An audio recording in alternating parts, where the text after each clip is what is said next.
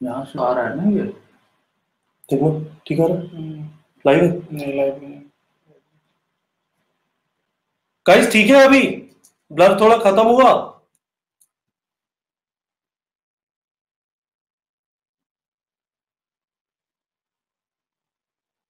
Blur थोड़ा खत्म हुआ। जेपी आपको दिखाई दे रहा है बता सकते हैं? बेटर हुआ? एक सर हटते हैं। बेटर हुआ। हाँ काफ़ी बेटर है यार। अरे यार यदि बहुत अच्छा हुआ है तो बोल दो ना बहुत अच्छा हुआ है। शर्मा क्यों रहे हो? नंबर नहीं मिलेंगे एक्स्ट्रा इससे। बेटर है सर चलिए sir yes better yes calling से साफ़ कर रहा हूँ मैं सर एक बार। कुनन हाँ। मार्कर अरेंज कर दो? एक दिया। ये है ना? कॉलिंग कर। तो ये क्या वन टू थ्री तो हो ही गया? वन टू थ्री हो गया। हम वन टू थ्री का फोर से शुरू कर दो ना। बेटा फोर से शुरू करें। गाइस फोर से चालू करते हैं। सर वहाँ पे देखिए। और फोर से शुरू करें। गाइस थोड़ा पेशेंस रखना सीखिए। आप लोग के लिए यदि आप अच्छा नहीं देख पाता है तो हम कोशिश करेंगे ठीक है? पर थोड़ा सा पेशेंस रखो and it is going to be okay sir एक- एक बार पीओसी बता दो। पीओसी क्या होता है? पीओएसी पीओएसी फिर से बता दें। हाँ। वीडियो नहीं देखे होंगे फिर इन्होंने। हाँ वीडियो नहीं देखे। ये सारे हमारे स्टूडेंट ही है। ये अ, अच्छा अच्छा अच्छा अच्छा। ए पीओएसी ओके।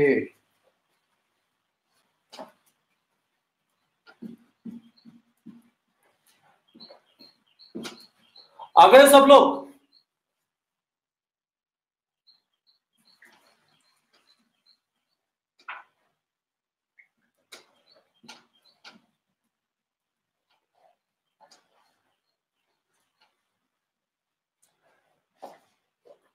गाइस अभी पीसफुल है।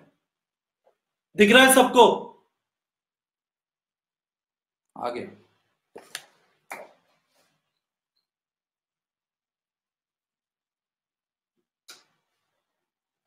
दिख रहा है आराम से?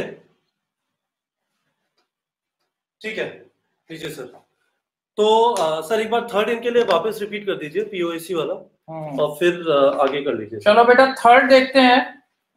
थर्ड वाले को फिर पीओएसी से सॉल्व करते हैं। दोनों तरीके से मैं बताता हूँ कि बेसिकली है क्या? कि जो थर्ड क्वेश्चन था butane C four H ten oxygen से रिएक्ट करा इट फॉर्म सीओ टू इसको मैंने बैलेंस कर दिया। Four CO two five H two O eight और फाइव थर्टीन थर्टीन का मतलब थर्टीन बाई टू और टू ये हो। एक तरीका हमारे पास सॉल्व करने का कि बैलेंस करके हम इसमें हम बता सकते हैं सी फोर एच टेन का पूरा मॉलिकुलर वेट क्या है? 58 ग्राम ठीक है? और ये कितना है? Four into forty four CO two का मॉलिकुलर वेट 44 है। तो 58 gram C four H ten C4H10 gives 4 into 44 gram CO2. Now, 1 gram C4H10 gives 4 into 44 upon 58 into 1 और ये अप्रॉक्स 3 ग्राम आ जाए this is the answer one way तो ये है कि आपको पूरी इक्वेशन को क्या करना पड़े? बैलेंस करना पड़े। सेकेंड वे है पीओएसी अब पीओएसी को आप समझ लीजिए है क्या? इसकी फुल फॉर्म होती है principle of atom conservation principle of atom conservation यहाँ पर आपको कोई इक्वेशन लिखने की ज़रूरत नहीं है। सी फोर एस्टेम से CO2 गैस फॉर्म हो गई।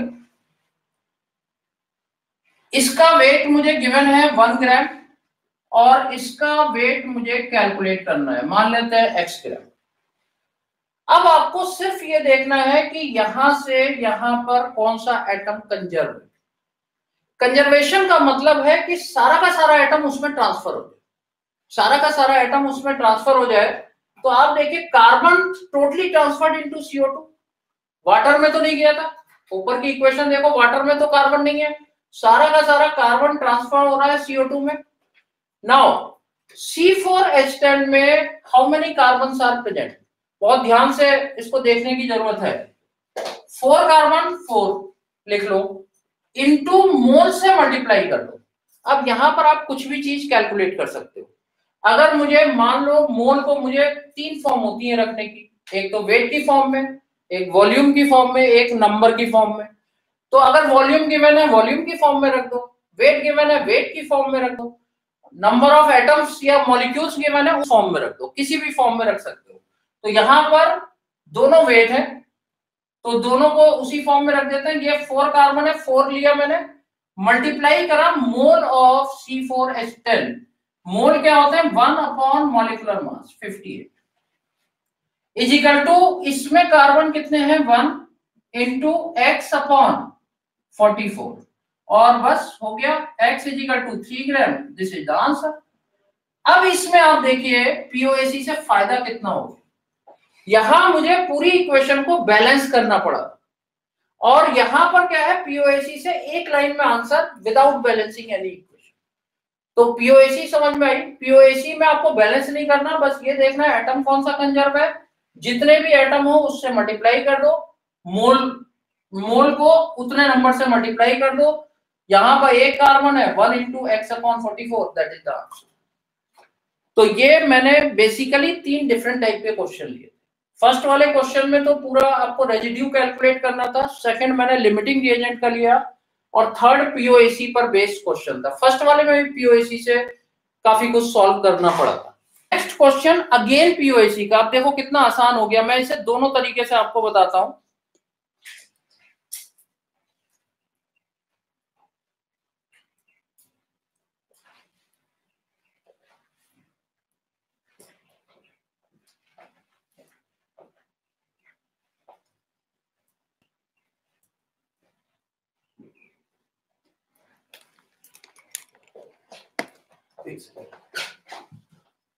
गाइस अभी क्लीन है गाइस समझ आ रहा है? अब प्लीज़ है ना फोकस करो। मतलब विपिन सर से अभी पढ़ोगे ना तो आपको कॉन्सेप्ट बिल्कुल प्रिसाइसली समझ में आ जाएँगे। तो आप फोकस करो। थोड़ा डिस्टर्बेंस हुआ हमारी साइड में I am really sorry about it हम लोग इसको सही तरीके से फिक्स नहीं कर पाए थे फिक्स हो गया। प्लीज़ फोकस करो आराम से, ठीक है? और लवली निगम प्लीज़ गाइज़ तमाशा मत करो। हम आगे बढ़ते जाएँगे। आपका मिस हो गया। बाद में जाके वीडियो देख लीजिएगा। यूट्यूब पे अवेलेबल होगा। पर अभी बोर्ड पे फोकस करो। प्लीज़ चैट कम करो। अभी सब कुछ दिखाई दे रहा है क्लियरली राइट सब कुछ क्लियरली दिखाई दे रहा है। आराम से फोकस करो। सर जो बोल रहे हैं ना एक एक चीज़ को है ना, पकड़ के बैठ जाओ। ठीक है? बहुत फ़ायदा होगा इस सेशन के अंदर। चलिए गाइस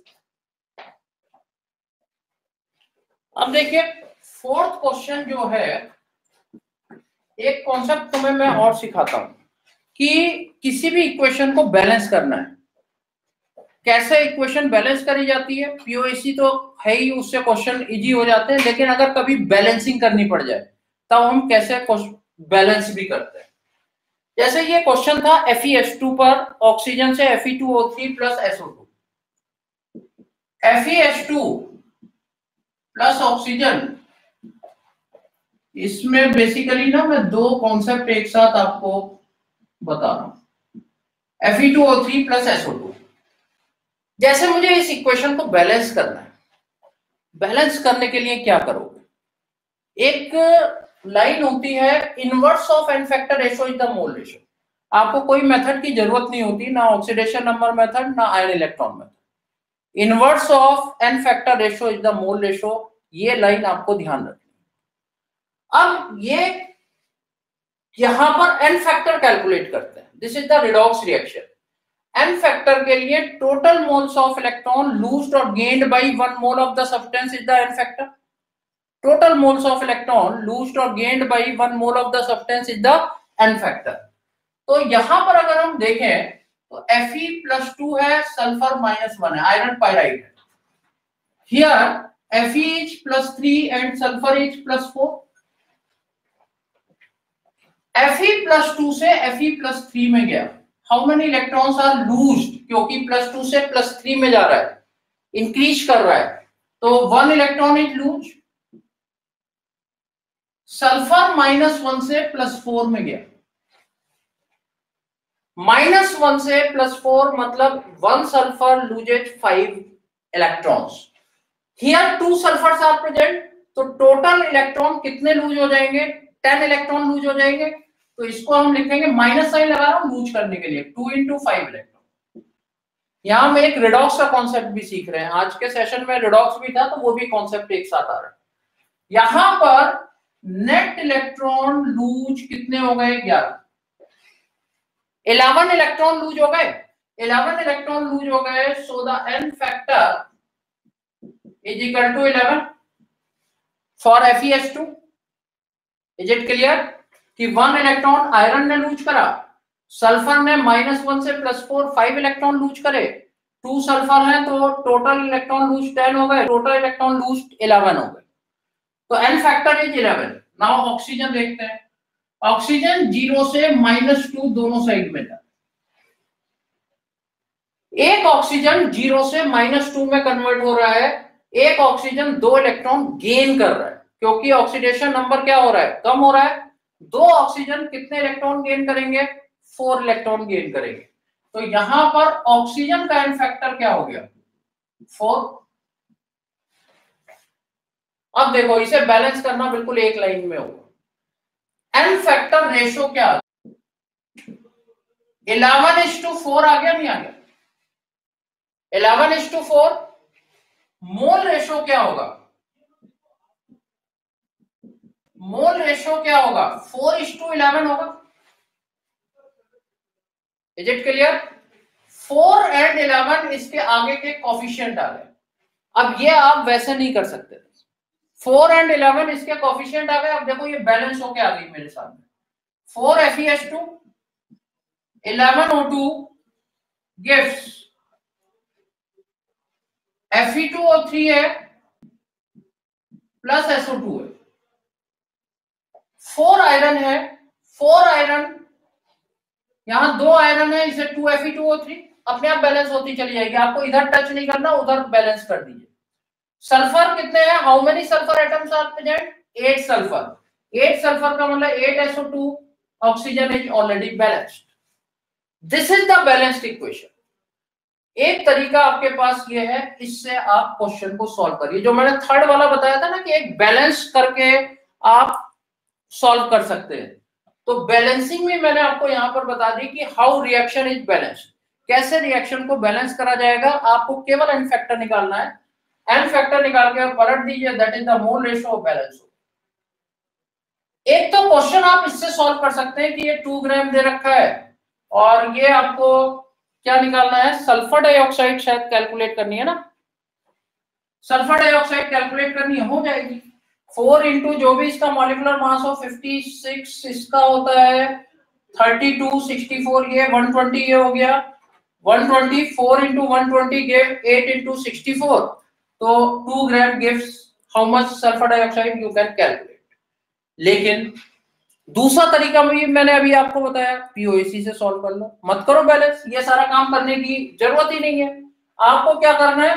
पीओएसी लगा हैं POAC F S two given है और F two O three sorry sulphur dioxide आपको कैलकुलेट करनी है। एसओ टू कैलकुलेट करनी है। ये मुझे दे रखा है टू ग्राम और ये मुझे कैलकुलेट करना है एक्स ग्राम आप देखिए, यहाँ पर सल्फ़र एटम कंजर्व हो गया, नहीं हो गया? Sulphur atom is oxygen is also balanced eight two जा सिक्सटीन और six twenty two eleven two जा ट्वेंटी टू ठीक है स्टूडेंट से देते कि ऑक्सीजन बैलेंस नहीं फिर से काउंट करें। ठीक है। FeS2 gave SO2 oxygen balance है यहाँ पर 8 टू जा 16 और 6 22 11 टू जा 22 यहाँ पर आप देखिए सल्फ़र एटम कंजर्व हो रहा है नहीं हो रहा है? सल्फ़र एटम कंजर्व हो रहा है? सल्फ़र एटम के लिए पीओएसी का यूज़ कर सकते हैं। नीचे दिखाई दे रहा है। नीचे आ रहा है। POAC for S atom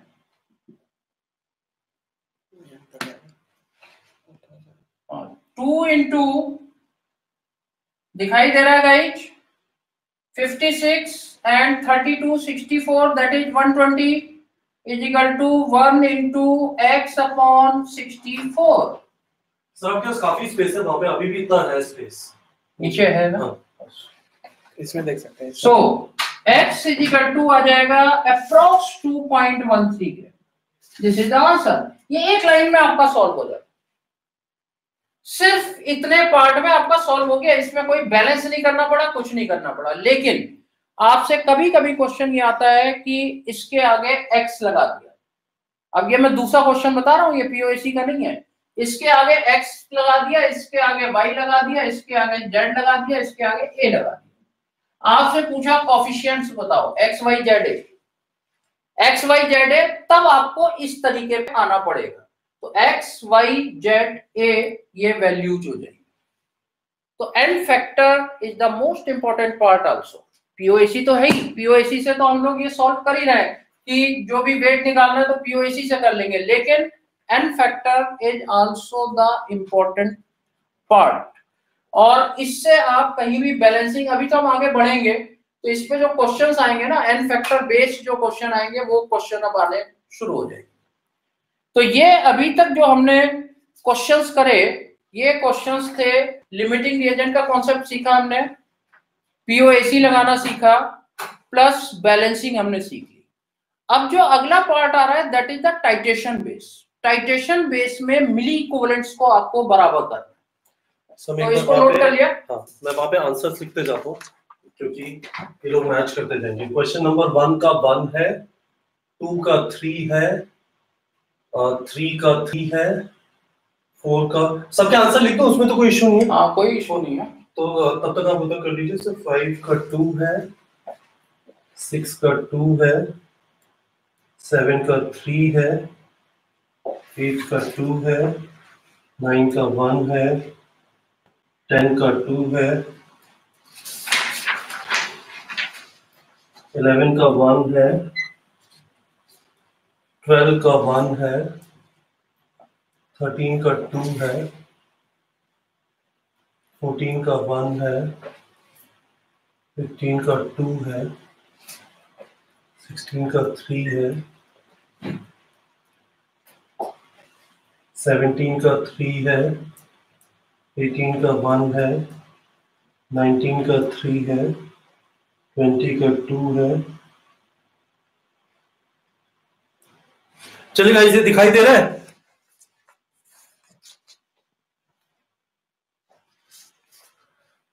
ये दिखाई दे रहा है गाइस है ना?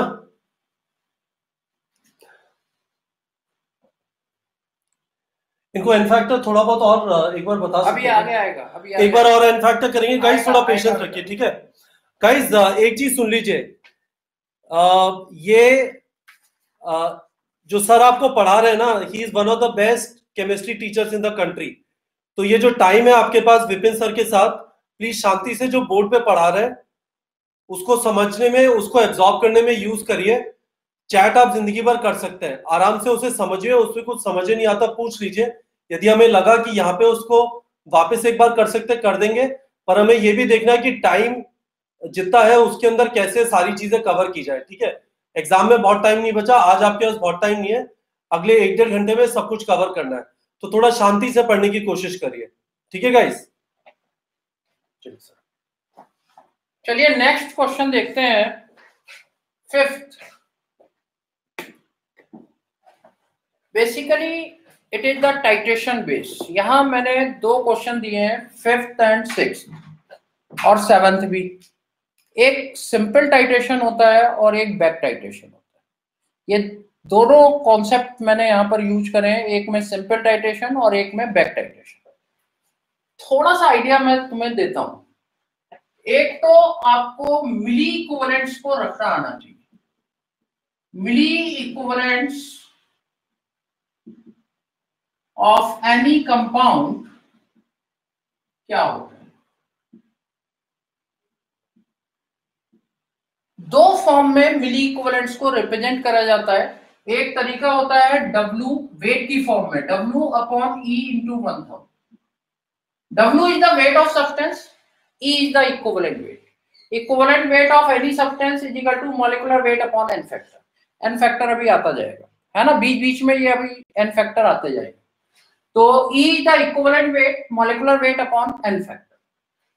Second way होता है normality into volume in L जो लगाते हैं ना N one V one equal to N two V two basically मैंने मिली इक्वलेंट्स को बराबर करा अब एक बात ध्यान रखिए कोई भी चीज़, जैसे A plus B C plus D D plus E gives F ये मुझे गिवन कोई भी चीज़ आपस में रिएक्ट कर रही है, और उससे कोई भी प्रोडक्ट बन रहा है, वो दूसरे का रिएक्टेंट बन जा रहा है, फिर अनदर प्रोडक्ट बन रहा है, सबके मिली इक्वलेंट आपस में बराबर होते हैं। इसमें भी आपको इक्वेशन को बैलेंस नहीं करना इक्वेशन को बैलेंस करने की ज़रूरत नहीं तो सबके मिली इक्वलेंट्स आपस में बराबर होते हैं। Milliequivalent of A is equal to milliequivalent of B is equal to milliequivalent of C is equal to milliequivalent of D is equal to milliequivalent of E is equal to milliequivalent of F अब मान लीजिए, अब होता क्या है कि ए मान लो आपको एक ग्राम गिवन है। सपोज़ एफ़ की मुझे नॉर्मलिटी गिवन है। वॉल्यूम को कैलकुलेट करना कोई प्रॉब्लम नहीं। आप बीच के स्टेप सारे स्किप कर जाओ। ये भी एक इतना शानदार तरीका है कि आपको कहीं भी इक्वेशन को बैलेंस नहीं करना। मल्टी स्टेप हो, कुछ हो रिएक्शन नहीं भी पता है डजेंट मैटर आपको ये समझ में आना चाहिए कि इससे ये बना, इससे ये बना, फिर इससे ये रिएक्शन हो रही है लास्ट में ये बन जा रहा है, सबके मिली इक्वलेंट आपस में क्या होंगे? बराबर। आप इसमें सारे स्टेप स्किप कर सकते हो। Milliequivalent of A equal to direct रख दो, milliequivalent of F without knowing the equation without balancing the equation without writing the equation कुछ नहीं करना। यहाँ पर अब प्रॉब्लम क्या है? बस दो ही तरीके हैं हमारे पास। जैसा दे रखा हो, उसके अकॉर्डिंग उसे पुट कर जैसे यहाँ मुझे वेट की फॉर्म में दे रखा है तो मैं इसे वेट की फॉर्म में रख दूँगा W upon into one thousand equivalent weight पता होना चाहिए मुझे। Molecular weight upon n factor और इधर मैं किस फॉर्म में रख दूँगा? एन इंटू बी यानी ये मैं इसके बराबर कर सकता हूँ और वॉल्यूम कैलकुलेट हो जाएगा। एक लाइन में क्वेश्चन होगा।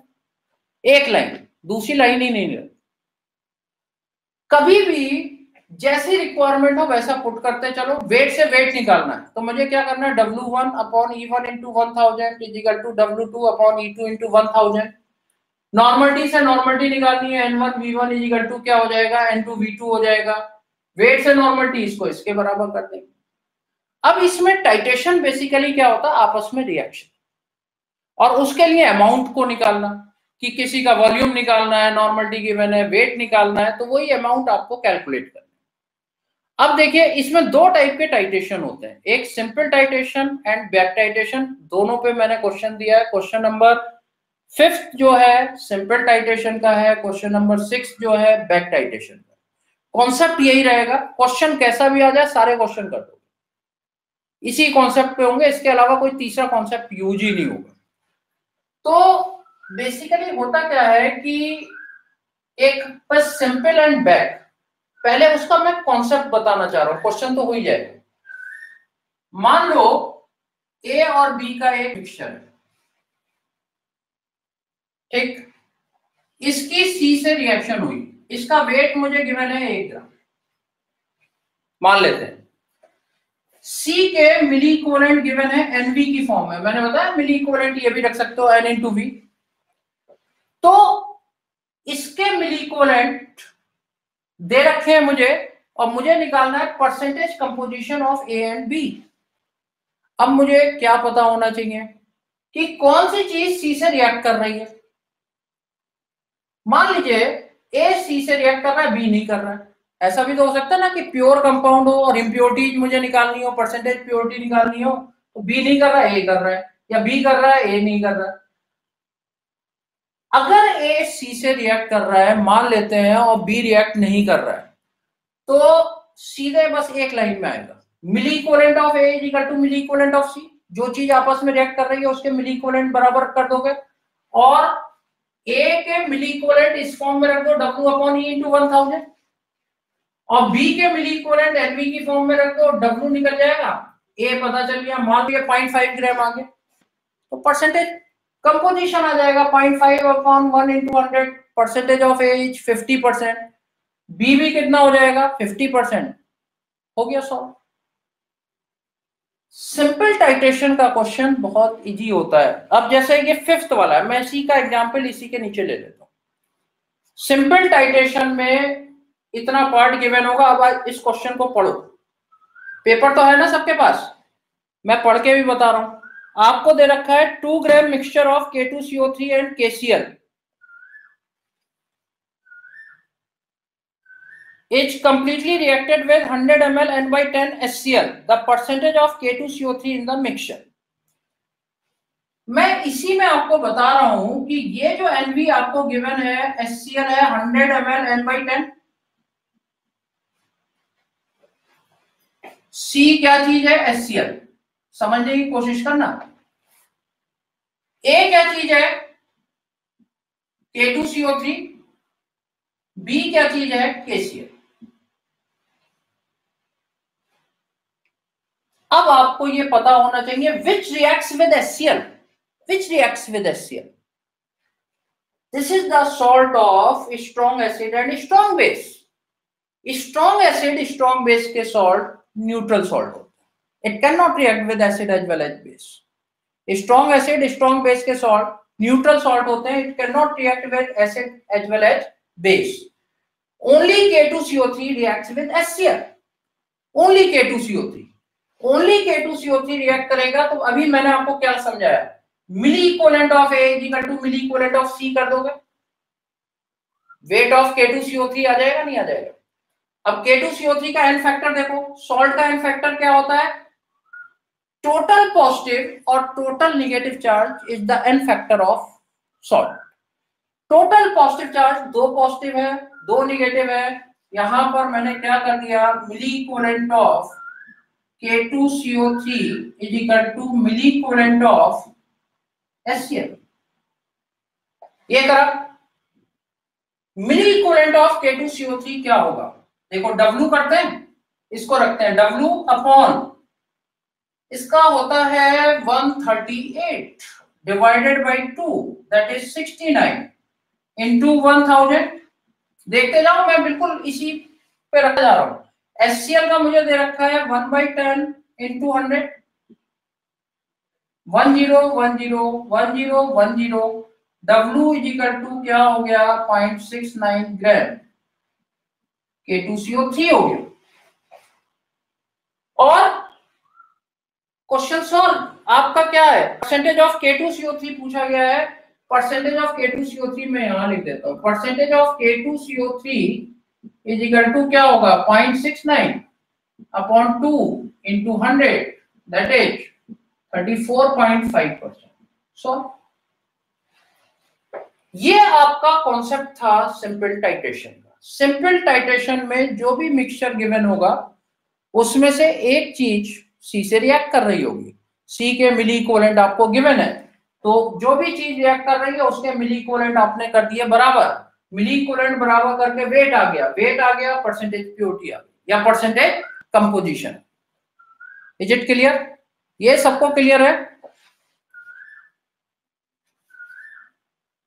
डिवाइडेड बाई टू इसलिए करा गया है क्योंकि K2CO3 का एन फैक्टर दो होता है। इक्वलेंट वेट निकालना है मुझे। इक्वलेंट वेट होता है molecular weight upon two molecular weight upon two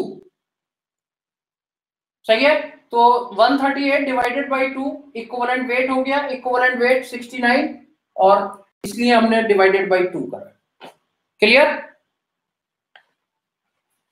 अब देखिए दूसरा कॉन्सेप्ट ये मेरा फिफ्थ वाला क्वेश्चन भी हो गया. ये फिफ्थ नंबर का क्वेश्चन यहाँ पर सॉल्व भी हो गया है सिंपल टाइटेशन पर. अगला कॉन्सेप्ट अगला कॉन्सेप्ट है बैक टाइटेशन पर. बैक टाइटेशन पर. तो बैक टाइटेशन में देखो क्या है, कैसे करेंगे? क्या चेंज है? ये आपने नोट कर लिया? नोट कर लिया?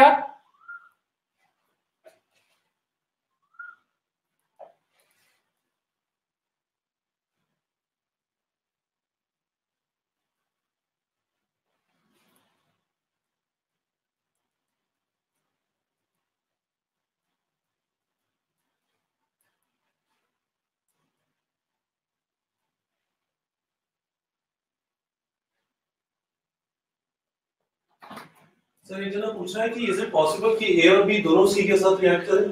हाँ is it possible it is possible अगर दोनों रिएक्ट कर रहे हैं तो उसके लिए कैसे करेंगे वो भी देख लेते हैं। देखो एक इसमें और कंडीशन आ सकती है सिंपल टाइट्रेशन में। जैसे ये मान लो वन ग्राम है और इसके सी के इक्वलेंट एनवी की फॉर्म में दे रखे अभी मैंने जो कंडीशन बताई थी कि one of the reactant react with C either A और बी लेकिन कंडीशन अगर ये आ जाए कि if both A and B react with C then तब कैसे करोगे? उस केस में देखो करना क्या होगा कि इसको मैं एक्स ग्राम मान। तो what it will be one minus X gram और ए एंड बी जब अगर दोनों रिएक्ट कर रहे हैं तो दोनों के मिली इक्वलेंट प्लस करके equal to milliequivalent of C होंगे। तो इसको कैसे लिखेंगे? If both A and B react with C ये बेसिकली नीट में ना ये लंबा क्वेश्चन हो जाएगा, लेकिन फिर भी तुम्हें पता होना चाहिए। Both A and B react with C then milliequivalent of A plus equivalent of B is equal to milliequivalent of C. ये हो जाएगा। मिली इक्वलेंट को रखने के तरीके क्या बताए? W upon E into one thousand अब इसे मैंने रखा ए को। X upon equivalent weight of A into one thousand plus one minus X upon equivalent weight of B into one thousand equal to N हो जाएगा। अब आप देखिए, आपको ये पता है, ये पता है इक्वलेंट वेट दोनों के पता होंगे नॉन कंपाउंड होंगे। You can calculate X X आते ही परसेंटेज ऑफ़ ए अगर मुझे निकालना है तो X upon one into hundred और परसेंटेज ऑफ़ बी हो जाएगा one minus X upon one into hundred solve हो जाएगा। तो दोनों कंडीशन हो सकती हैं। एक चीज़ रिएक्ट कर रही हो या दोनों चीज़ें रिएक्ट कर रही हो? दोनों चीज़ें रिएक्ट कर रही हैं, आपको इस तरीके से जाना है। एक चीज़ रिएक्ट कर रही है, बहुत इजी हो जाता है, फिर तो डायरेक्ट मिली इक्वलेंट बराबर कर दो सॉल्व हो जाता है। ठीक है गाइज़ समझ में आ गई ये वाली चीज़? गाइज़ यही इस सारे सेशन की ब्यूटी है कि ये जो कॉन्सेप्ट है ना जब विपिन सर समझा रहे हैं ना अच्छी तरह समझ में आ जाएँगे। आप अभी तक जहाँ पे भी पढ़े होगे इतना क्लियर नहीं हुआ होगा अब इसका फ़ायदा उठा लीजिए। टाइम ज़्यादा नहीं बचा। सर बच्चे एक चीज़ पूछ रहे हैं हाँ। कि टाइट्रेशन नीट के हिसाब से इंपॉर्टेंट है क्या? बिल्कुल। टाइट्रेशन नीट के हिसाब से इंपॉर्टेंट है गाइस इंपॉर्टेंट है है। जितना मैं करा रहा हूँ ना ये सारे क्वेश्चन मैंने अलग अलग कॉन्सेप्ट पे डाले हुए भाई इन क्वेश्चंस को अगर तुम कर लोगे तो सारा प्रॉब्लम वैसे ही क्लियर हो जाएगी। ठीक है तो टाइट्रेशन इंपॉर्टेंट है गाइस हटा दू मैं? लिख लिया आप सब लोगों ने ये? ये लिख लीजिए, ये इंपॉर्टेंट क्वेश्चन था, इसीलिए मैंने सर से कहा कि सर एक बच्चा पूछ रहा है और सर ने इमीडिएटली बता दिया ये समझ में आ गया ना? अच्छी तरह। सर ये भी कह रहे हैं कि इस टाइप का क्वेश्चन जनरली नहीं आएगा, पर हम एग्ज़ाम में ये सोच के नहीं जाएँगे कि बाबा जी ने क्या बोला था, कौन सा क्वेश्चन आएगा, कौन सा नहीं आएगा। क्वेश्चन कोई भी आ सकता है, ठीक है? यहाँ पे ज्योतिषी वाला गेम नहीं हो रहा है। तो जो कॉन्सेप्ट है उसको क्लियर करना है अपने को, ठीक है? चलिए मैं मिटा रहा हूँ। ये मैंने माइक तो लगाया ही नहीं। हाँ दैट इज़ माइक आपका वहाँ से नहीं कैमरे से। अच्छा। हाँ। It is just adding to the volume ये वाला जो। ओके गाइस ये समझ में आ गया ना? अब हम आ रहे हैं बैक टाइटेशन पे जो सिक्स नंबर का क्वेश्चन है। सर बैक टाइट्रेशन का मतलब क्या होता है? बैक टाइटेशन अभी आ रहा है इसमें बैक टाइटेशन का मतलब होता है कि कुछ अमाउंट आपका लेफ़्ट रह गया। जो सी है सी का कुछ अमाउंट लेफ़्ट रह गया उसे फिर अनदर कंपाउंड की और ज़रूरत हो रही है। तो दो बार इसको टाइटेट करना पड़ रहा है। जो सी का अमाउंट जो हम ले रहे थे एक तो कंप्लीटली रिएक्ट कर रहा था। एक कुछ अमाउंट रिएक्ट कर रहा है कुछ नहीं कर रहा। तो उसे हम बैक टाइटेट कर रहे हैं किसी दूसरे कंपाउंड से। और सर टाइट्रेशन का क्या मतलब होता है? Titration means reaction titration means reaction guys simple सी चीज़। आपने मीन्स रिएक्शन आज तक यदि आपने रटा है तो आप समझ लीजिए टाइट्रेशन कुछ नहीं है रिएक्शन है। हाँ आपस में रिएक्शन और उसका अमाउंट कैलकुलेट करना। कि कितना अमाउंट नीड पड़ेगी एक दूसरे को आपस में रिएक्ट करने के लिए कंप्लीट रिएक्शन के लिए। तो बैक टाइट्रेशन में देखो है क्या? कि ये यहाँ तक तुम्हें लग रहा था ये सिंपल टाइट्रेशन टाइप से, ये सी आ गया। ये मान लो कोई अमाउंट दे रखा है। सी के मिली इक्विवेलेंट गिवन है एनबी की टर्म सिंपल टाइटेशन में क्या होता था कि ये पूरा का पूरा इससे रिएक्ट कर गया, या तो एक से या दोनों से, दोनों वाली कंडीशन भी हमने देख ली। या तो केवल एक से रिएक्ट कर रहा था या दोनों से। अब क्या होता है बैक टाइटेशन में it is not completely reacted with A B और बोथ कुछ अमाउंट इसका बच गया लेफ़्ट सी पता नहीं कितना अमाउंट बचा। अब हमने क्या करा? इस अमाउंट की एक अनदर कंपाउंड से रिएक्शन करा दी डी से। और डी के मिली इक्विवेलेंट मुझे एन डैश वी डैश की टर्म में गिवन और मुझसे क्वेश्चन वही करा गया परसेंटेज निकाल। तो यहाँ पर बेसिकली क्या हुआ? एक स्टेप और इंक्रीज कर गया, नहीं कर गया। मुझे वो अमाउंट कैलकुलेट करना पड़ेगा जो एक्चुअल में ए से या बी से या दोनों से रिएक्ट कर रहा है। तो वो अमाउंट कैसे कैलकुलेट होगा? देखो ये तो टोटल अमाउंट ऑफ़ सी था। जो बच गया अमाउंट इसके मिली इक्वलेंट डी के बराबर होंगे, नहीं होंगे। जो चीज़ आपस में रिएक्ट कर रही है, उसके मिली इक्वलेंट हमेशा क्या होते हैं? बराबर होते हैं। तो इसका मिली इक्वलेंट डी के बराबर होंगे। और डी के बराबर होंगे, यानी मैंने अगर इसमें टोटल में से डी को माइनस करा तो मैंने लेफ़्ट अमाउंट को बेसिकली माइनस कर तो मुझे वो अमाउंट पता चल गया यूज़ अमाउंट जो किससे रिएक्ट कर रहा है ए से या बी से या दोनों से। तो अब इसमें आपको करना क्या होगा कि milliequivalent of C used calculate कैसे करोगे?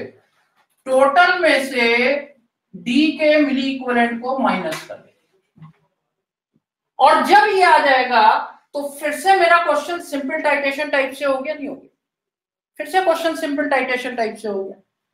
तो अब देखो, जो सिक्स नंबर का क्वेश्चन है, मैं यहाँ पर लेवल करता हूँ। देखो क्या क्या गिवन है सी सी चीज़ गिवन है एससीएल दिस इज़ एससीएल और इसका अमाउंट दे रखा है hundred M L N by two आप देखिए excess acid required 60 ml n by 2 NaOH this is NaOH ये तो आपका HCl है लेफ़्ट HCl इसको NaOH की ज़रूरत हुई sixty 60 ml n by 2 NaOH और शुरू में दे रखा है this is two gram A H calcium carbonate जो एक्चुअल में HCl से रिएक्ट करता है बी इज़ द इम्प्योरिटी मैंने पूरे क्वेश्चन में हर चीज़ को लेबल कर दिया। यहाँ तक समझ में आया? पहले तो ये बताओ। आगे बढ़ू फिर यहाँ तक सबको क्लियर है? यहाँ तक क्लियर अब आप देखिए, मैंने क्या करा कि वो सी का अमाउंट कैलकुलेट करना चाह रहा हूँ, जो कैल्शियम कार्बोनेट से रिएक्ट कर रहा है। तो मुझे इसमें से इसको माइनस करना पड़ेगा। एक्चुअल में ये लेफ़्ट अमाउंट ऑफ़ सी के बराबर होगा। अब यहाँ मेरे सामने प्रॉब्लम है कि माइनस कैसे? माइनस करने के लिए हो सकता था, यहाँ तो देखो नॉर्मलिटी सेम चल रही है एन बाई टू चल रही है। यहाँ होता, मान लो वन एन करके होता, यहाँ एन बाई फोर होता तो इसमें घबराने की ज़रूरत नहीं है। आप एन इंटू वी को मल्टीप्लाई करके एक डिजिट बना लो that is the milliequivalent तो यहाँ पर मैंने milliequivalent of S C L used निकालना चाह रहा हूँ। तो कैसे निकलेंगे? Hundred into one by two minus sixty into one by two, और ये मेरे पास कितने आ जाएँगे? Fifty minus thirty that is twenty ये पूरे मिली कोलेंट आ गए। यहाँ नॉर्मलिटी डिफरेंट भी हो ना तो डजेंट मैटर उसे आप केवल मल्टीप्लाई करिए। अब इसमें मिली कोलेंट ऑफ़ एससीएल यूज्ड में ट्वेंटी आ गया। ट्वेंटी के बाद आपने क्या करा? अब ये किससे रिएक्ट कर रहे होंगे? Milliequivalent of pure calcium carbonate is equal to equivalent of L used calcium carbonate का एन फैक्टर क्या होगा? सॉल्ट का मैंने बताया था। कैल्शियम पॉजिटिव टू है सीओ थ्री टू माइनस यहाँ भी डिवाइडेड बाई टू होगा। Hundred is the molecular weight of calcium carbonate divided by two fifty आ जाएगा। तो W upon fifty into one thousand is equal to twenty and W is equal to कितना हो जाएगा? One gram total था two gram तो percentage purity क्या होगी? Percentage purity one by two into hundred that is fifty percent is it clear ये बात समझ में आ गई? तो ये दो टाइप के टाइटेशन याद रखने इंपॉर्टेंट है ये। ऐसा नहीं कि इसे आप छोड़ के चले जाएँगे। Simple titration and back titration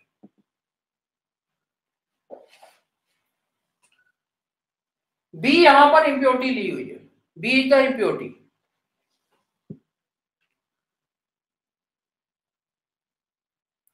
क्योंकि कैल्शियम कार्बोनेट प्लस इम्प्योरिटी है तो pure compound is calcium carbonate B को मैंने इम्प्योरिटी लिया रखा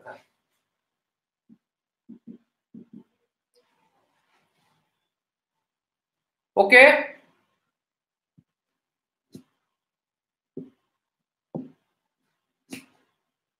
Weight is one gram बेटा।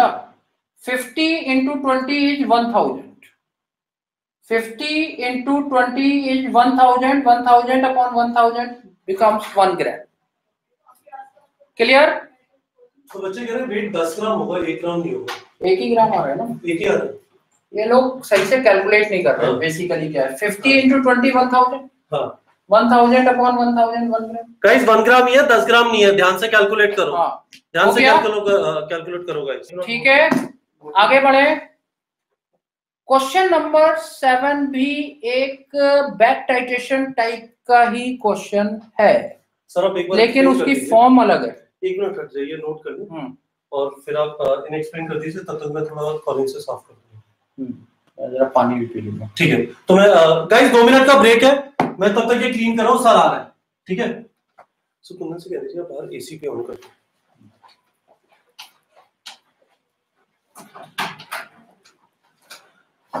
गाइस कितने लोगों को बाउंस हो रहा है और कितने लोगों को समझ में आ रहा है? सब कुछ कुछ भी समझ में नहीं आया कुछ समझ में आ रहा है। या बाउंसर ही बाउंसर चल रही है? पर्थ का पिच है। यार देखो, इस टाइप के सेशंस के अंदर है ना, कुछ तो आपको बेसिक अंडरस्टैंडिंग होनी पड़ेगी। यदि आपकी बिल्कुल भी अंडरस्टैंडिंग नहीं है तो इश्यू होगा। समझ आ रहा है? चलो। ठीक है। थोड़ी अंडरस्टैंडिंग होनी पड़ेगी गाइस इस समय पे पूरी फ़िज़िकल केमिस्ट्री को वापस नहीं पढ़ाया जा सकता है। ठीक है? इतना टाइम नहीं है।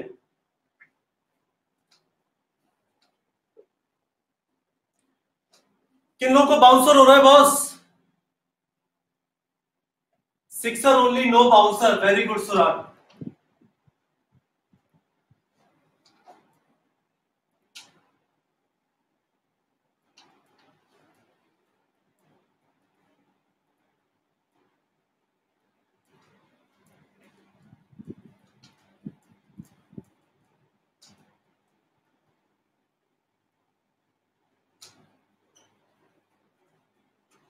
समझने की कोशिश करो यार, ठीक है? और अपने कॉन्सेप्ट रिवाइज करते जाना।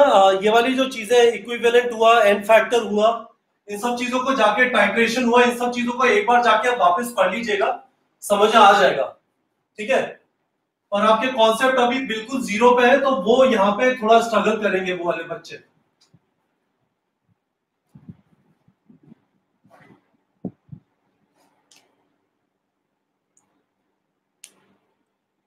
इतना बता दीजिए अगर बी इम्प्योर हो तो क्या होगा ठीक है? तो ये विपिन सर आएँगे तो उनसे वापस पूछ लेते हैं कि बी इम्प्योर हो तो क्या होगा। ठीक है गाइस चलिए सैंथनी पॉल को समझ में आ रहा है जीनियस गुप्ता को समझ में आ रहा है दिशांत सिंह को समझ में आ रहा है सुरात कोहली को समझ में आ रहा है। बी प्योर होगा तो क्या होगा? चलो बी प्योर होगा तो क्या अ, क्या होगा ये कर लेते हैं। एक क्वेश्चन आ रहा है कि यदि बी प्योर होता तो क्या होता? वो जो दोनों रिएक्ट कर जाते हाँ। तो बी प्योर होता तो बस बी अगर प्योर होता तो इम्प्योर या प्योर बी इम्प्योर लिखा है ना इसने। बी तो इम्प्योर था ही। वो तो था ही बेटा। हाँ वो- वो अगर बी प्योर होता तो वो जो मैंने कंडीशन बताई थी कि A and B both react with C वो कंडीशन अप्लाई कर देते।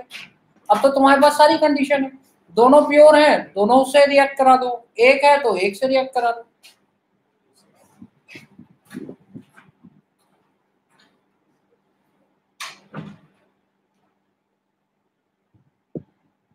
अब देखिए, इसमें जो सेवंथ क्वेश्चन है सेवंथ क्वेश्चन को करते हैं।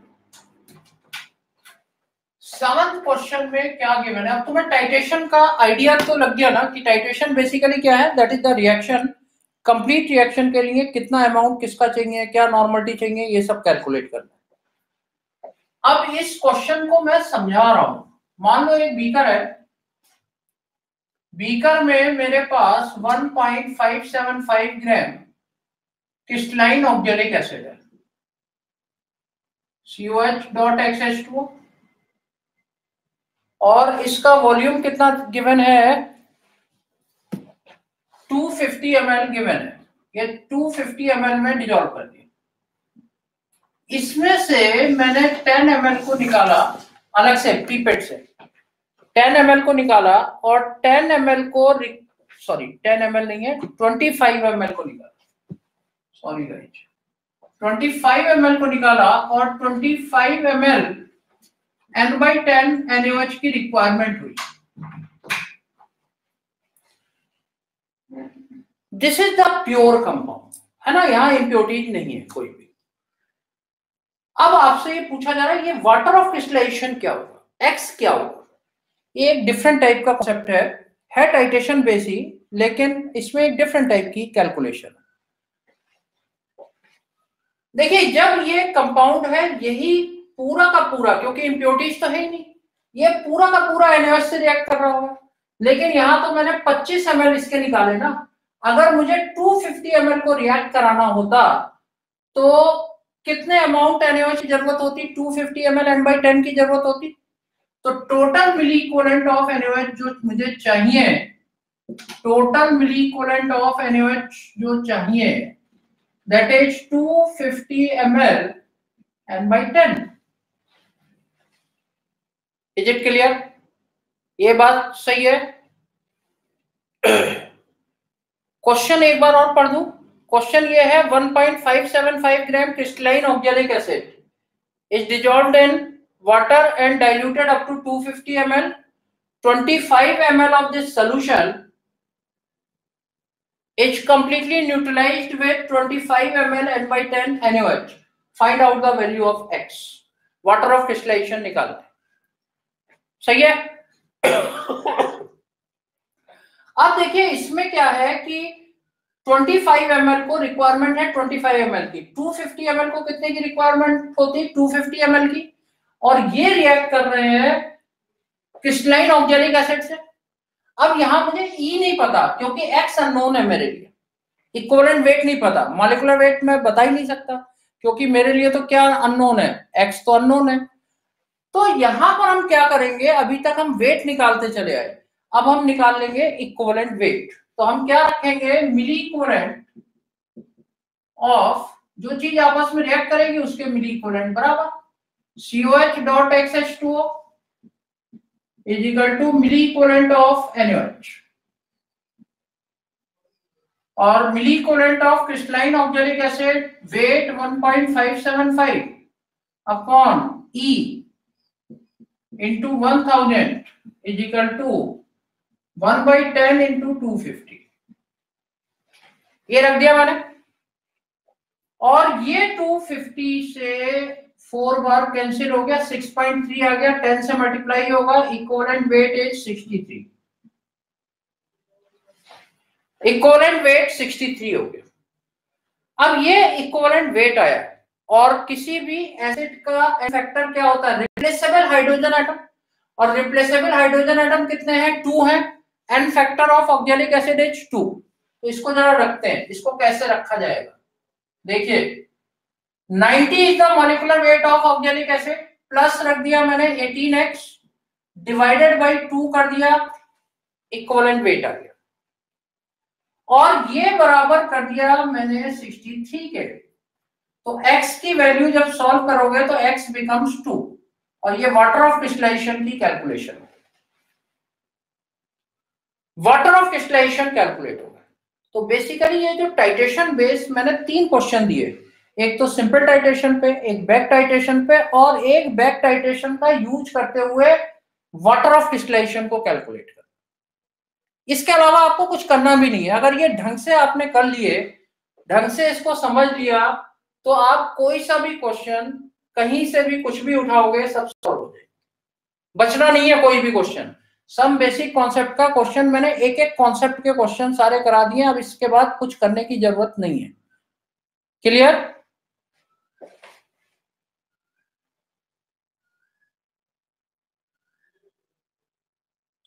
ये बेसिकली क्या है? देखो बेटा, ये 25 फाइव से 25 एम था, लेकिन मेरे पास वॉल्यूम था total 250 fifty M L two को तो 25 को 25 की ज़रूरत है तो 250 को तो 250 की ज़रूरत होगी। तो ये मैंने total milli equivalent of NOH लिखे हैं। ये तो 25 एम के साथ थे। 250 के साथ 250 होगा। सही है ना? तो ये इसीलिए मैंने 250 फिफ्टी इसके साथ रिएक्ट करा दिया। और यही मिली किसके बराबर होगा? इसके बराबर 250 फिफ्टी वाले। सही है? क्लियर गॉट इट अब देखिए, अब अगला वाले चैप्टर पे आते हैं। अगला वाला चैप्टर है हमारा केमिकल बॉन्डिंग का। केमिकल बॉन्डिंग के कुछ कॉन्सेप्ट बहुत इंपॉर्टेंट है। एक जो मैंने एट्थ नंबर का क्वेश्चन डाला हुआ है एट्थ नंबर का क्वेश्चन है बॉन्ड एंगल्स पर, जिसमें आप अक्सर गड़बड़ कर देते हैं या रटने की कोशिश करते हैं। रटने से काम नहीं बनेगा, वहाँ गलती करके आओगे। रटोगे तो हंड्रेड परसेंट गलत।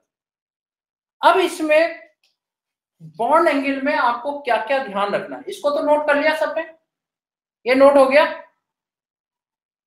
90 कहाँ से आया? 90 आया ये ऑक्जेलिक एसिड का मॉलिकुलर मास सीओएस सीओएच का। और 18 आया वाटर का एक्स लिख दिया इसे। तो टोटल हो गया 90 plus eighteen x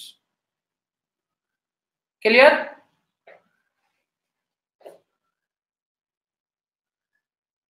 asterisk acid नहीं? ऑक्जेलिक एसिड है।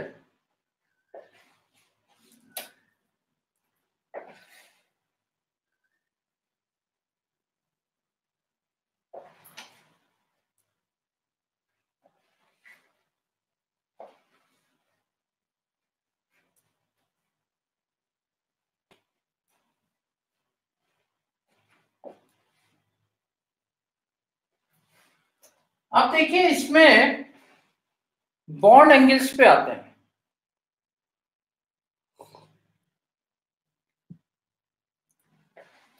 बॉन्ड एंगल के लिए क्या क्या देखना है?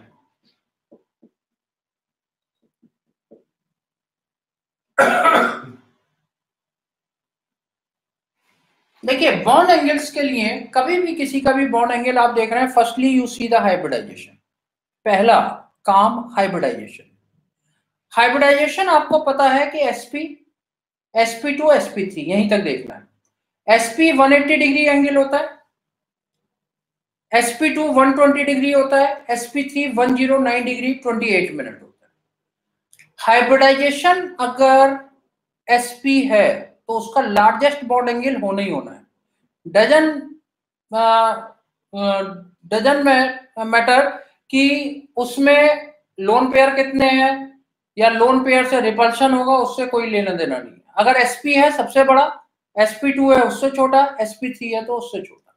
पहली चीज़ तो ये अपने दिमाग में क्लियर रखो। दूसरी चीज़, अगर हाइब्रिडाइजेशन सेम है then we apply the VSEPR theory valence shell electron pair repulsion theory और उसके अकॉर्डिंग क्या होता है? लोन पेयर बॉन्ड पेयर को रिपेल करते हैं बॉन्ड पेयर बॉन्ड पेयर को लोन पेयर लोन पेयर को। तो वो हमें अप्लाई करनी है।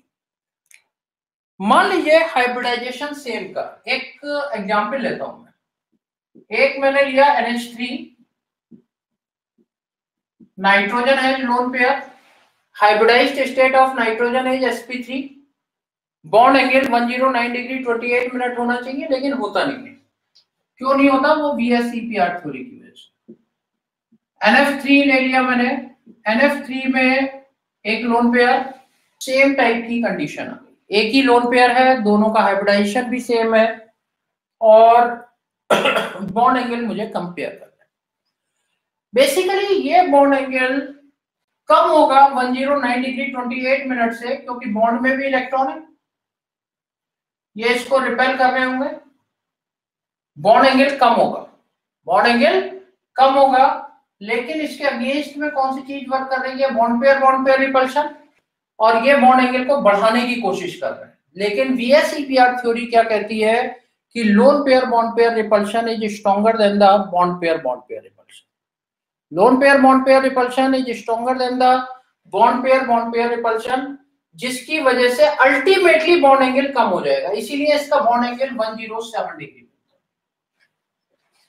is it clear यहाँ तक बात समझ में आई? अब क्वेश्चन ये है कि यहाँ भी रिपल्शन हो रहा होगा, यहाँ भी बॉन्ड एंगल कम होगा। मुझे इन दोनों का बॉन्ड एंगल कंपेयर करना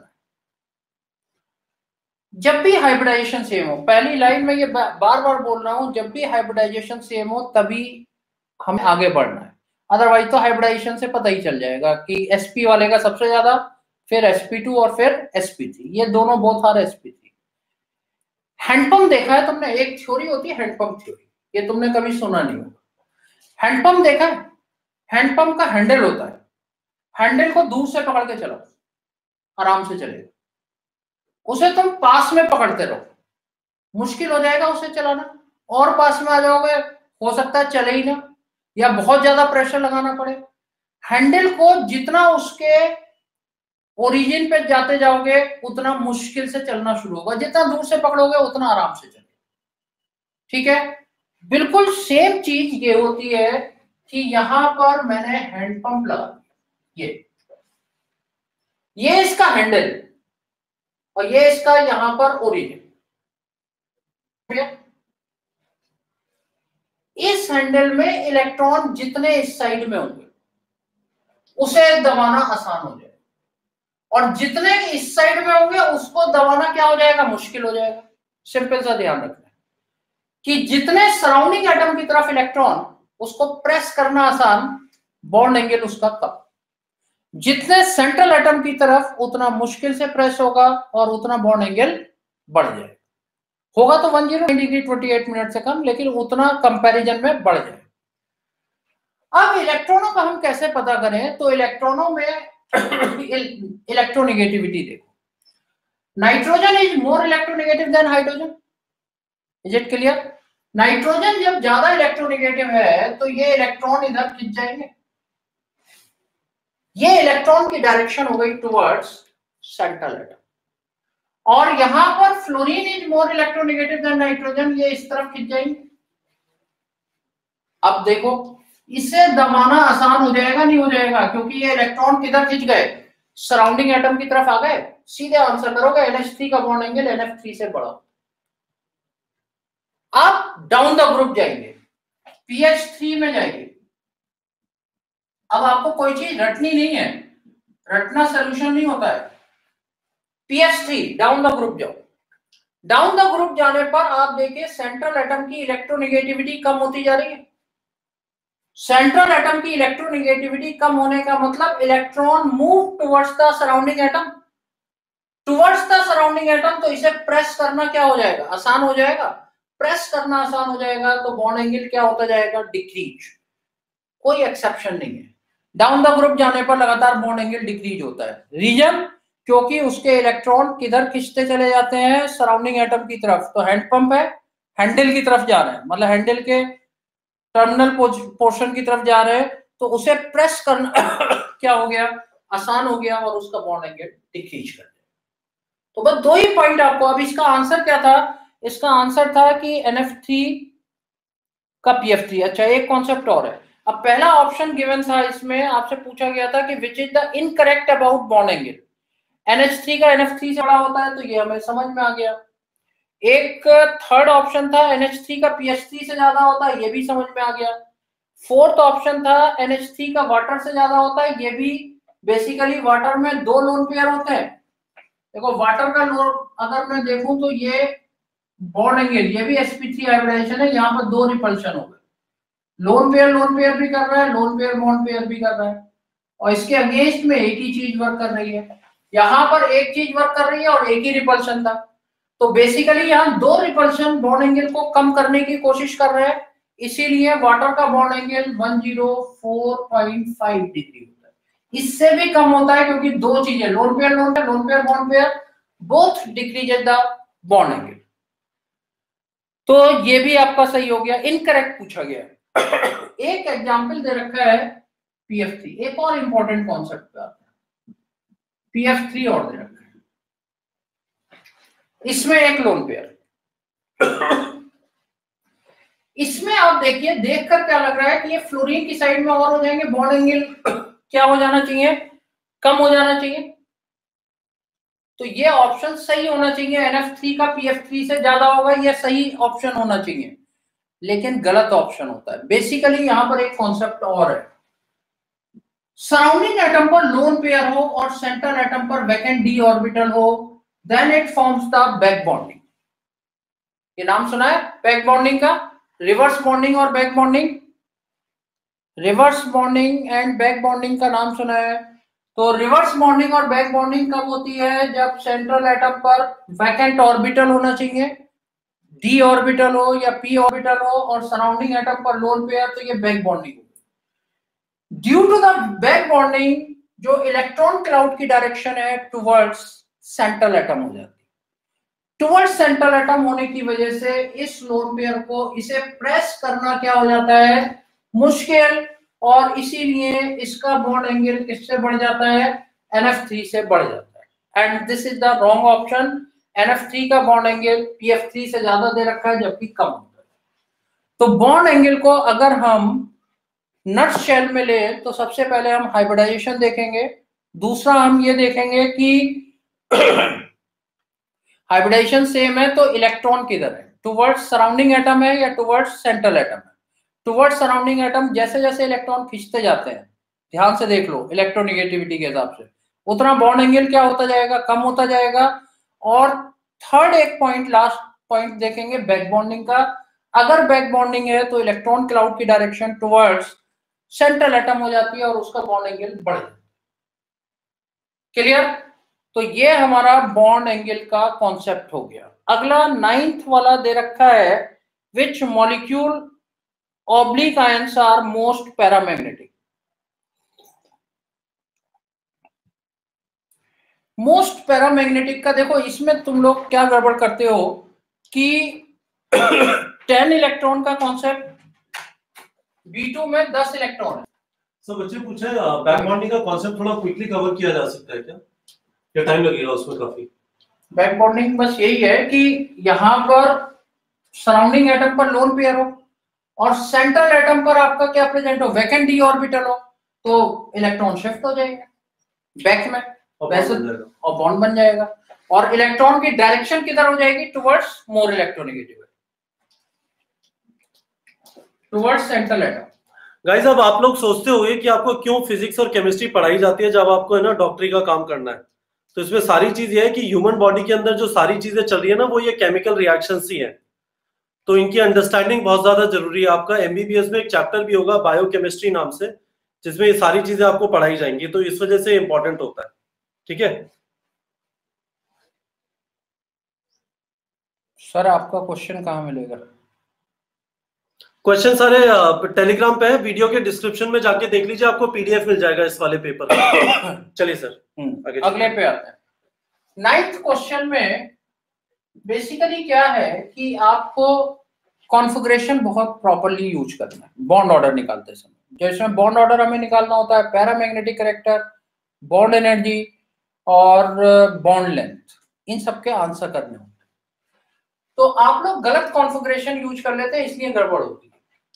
अगर डाई एटॉमिक मॉलिक्यूल में इफ़ डाई एटॉमिक मॉलिक्यूल मतलब सारे इलेक्ट्रॉन मिलाकर diatomic molecule contains 14 electron or less than 14 electron. Then following configuration is used. जो मैं अब लिखने जा रहा हूँ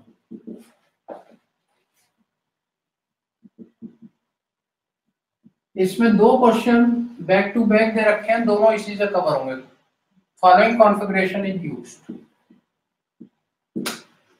और इस पे आता ही है generally question. Sigma one S, जो स्टार लगा रहा हूँ वो एंटी बॉन्डिंग है sigma star one S sigma 2s sigma star 2s pi 2px pi 2py pi star 2px pi star 2py sigma star 2pz ये तो आप यूज़ करेंगे 14 इलेक्ट्रॉन के लिए। और if diatomic molecule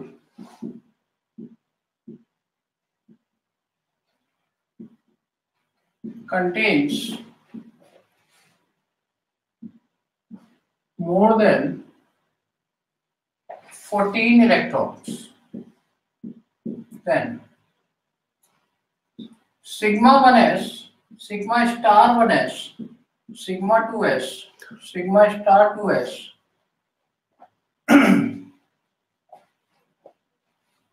इसमें बीच में एक चीज़ रह गई बेटा। सिग्मा टू पी जेड हो रहेगा उसको क्लीन क्लीन कर दे सर उधर से नहीं तो कंफ्यूजन हो जाएगा। हम्म। उसको क्लीन करके थोड़ा आगे करता हूँ।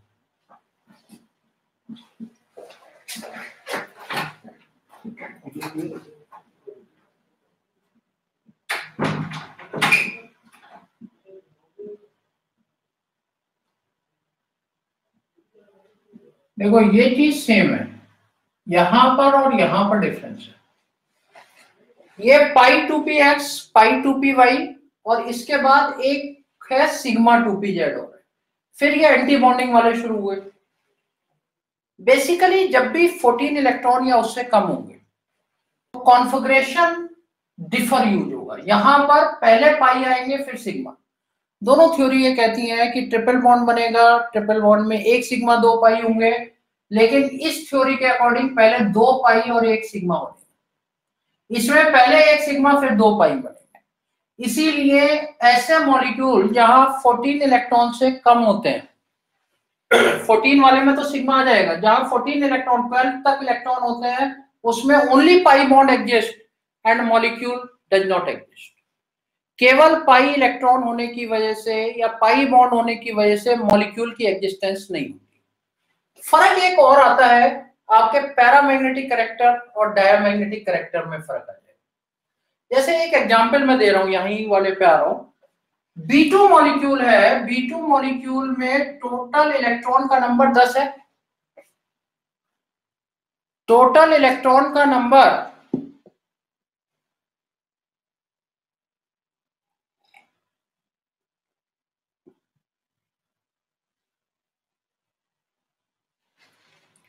टेन है तो टेन इलेक्ट्रॉन को मुझे फिल करना है। और मान लो बाई चांस मैंने गलत तरीके से यूज़ कर लिया, क्योंकि ये तो 14 से ज़्यादा के लिए। यहाँ पर मैंने 10 इलेक्ट्रॉन टू टू फोर एक ऑर्बिटल में दो इलेक्ट्रॉन सिक्स एट टेन और इसको मैंने यूज़ करा two two four two six two eight one one ten दोनों का डिफरेंस आपको समझ में आ रहा होगा। अगर मैंने इसके अकॉर्डिंग आंसर कर दिया तो it has no unpaired electron and it is diamagnetic in nature और कायदे में ये आंसर मेरा गलत हो गया, सही आंसर क्या होता? है it has two unpaired electron two unpaired electron का मतलब मोस्ट पैरामैग्नेटिक दो से ज़्यादा आ ही नहीं सकते। आपसे क्वेश्चन करा गया है कि which molecule of ions are most paramagnetic तो मोस्ट पैरामैग्नेटिक कौन से होंगे? जो greatest number of unpaired electron B2 has two unpaired electron क्योंकि उसमें कॉन्फ़िगरेशन आपका कौन सा यूज़ होगा? फ़र्स्ट वाला यूज़ इज़ इट क्लियर बस तो ये दो कॉन्फ़िगरेशन आपको ध्यान रखने हैं और इसी के अकॉर्डिंग आपको चलना है। पैरामैग्नेटिक डायमैग्नेटिक इसी के अकॉर्डिंग निकालना। एक केस और होता है सीओ का। बहुत इंपॉर्टेंट केस है। और ये स्पेशली ध्यान रखो। स्पेशली ध्यान रखो। बॉन्ड ऑर्डर निकालने के लिए फॉर्मूला बोलो। क्या होता है? Bond order is equal to half number of bonding electron minus number of antibonding electron करते सही है? अब O2 से मैंने O2 टू प्लस बनाया। तीन ले रहा हूँ। इसमें अगला क्वेश्चन भी कवर हो रहा है। N2 टू प्लस बनाया। CO से CO प्लस बनाया।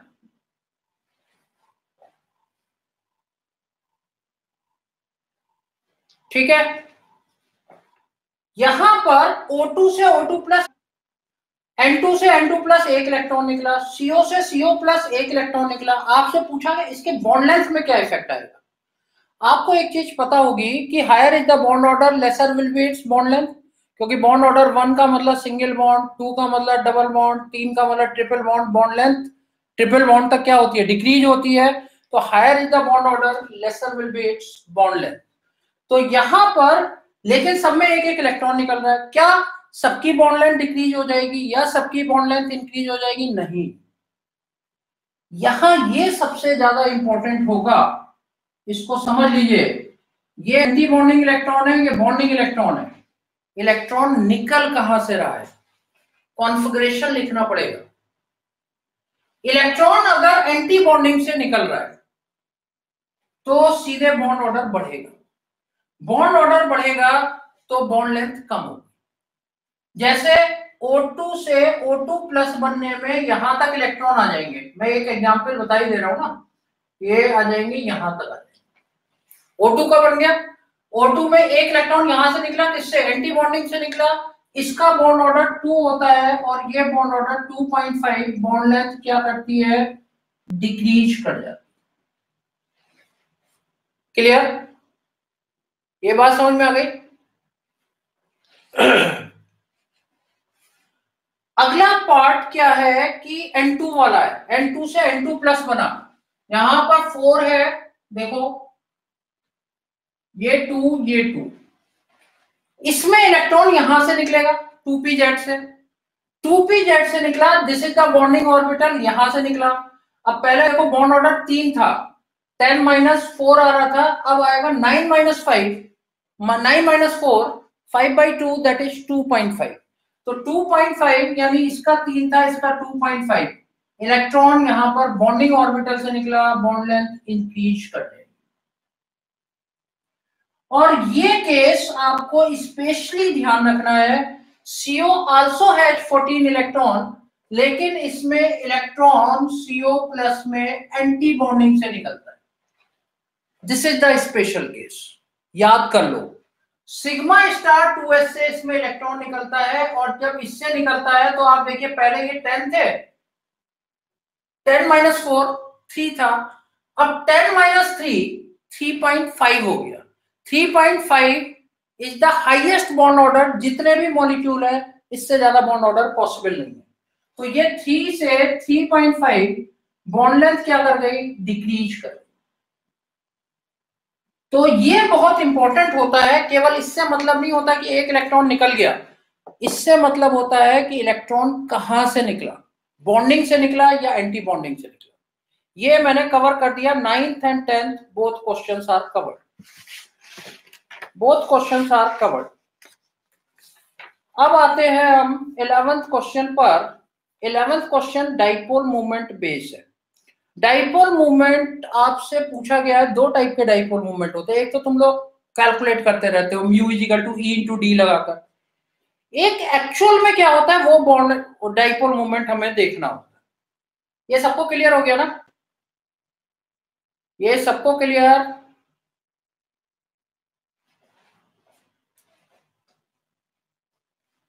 ये केवल डाई एटॉमिक मॉलिक्यूल के लिए है CO2 के लिए नहीं होगा। It is applicable for diatomic molecule only.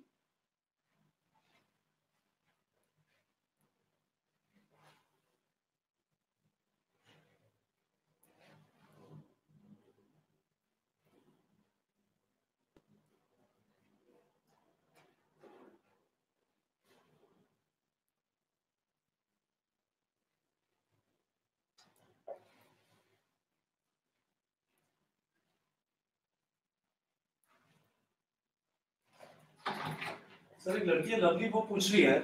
हम्म। या लड़की है लड़का मुझे पता नहीं। हम्म सीओ टू को कैसे फिल करेंगे? हाँ तो मैंने बता दिया ना। It is applicable for diatomic molecule diatomic molecule tri में नहीं चलेगा। वो मैंने देख लिया था।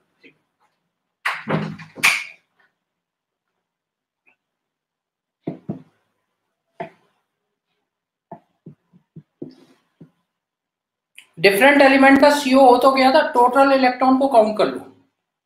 तो वो सीओ का जैसे केस हुआ था, वैसे ही होगा देखिए ऑब्ज़र्व डाइपोल मूवमेंट और थियोटिकल डाइपोल मूवमेंट में थोड़ा सा डिफरेंट डिफरेंस क्या है? ये भी एक इंपॉर्टेंट क्वेश्चन मैंने डाला था, जो तुम लोगों ने नहीं देखा होगा और आ सकता है।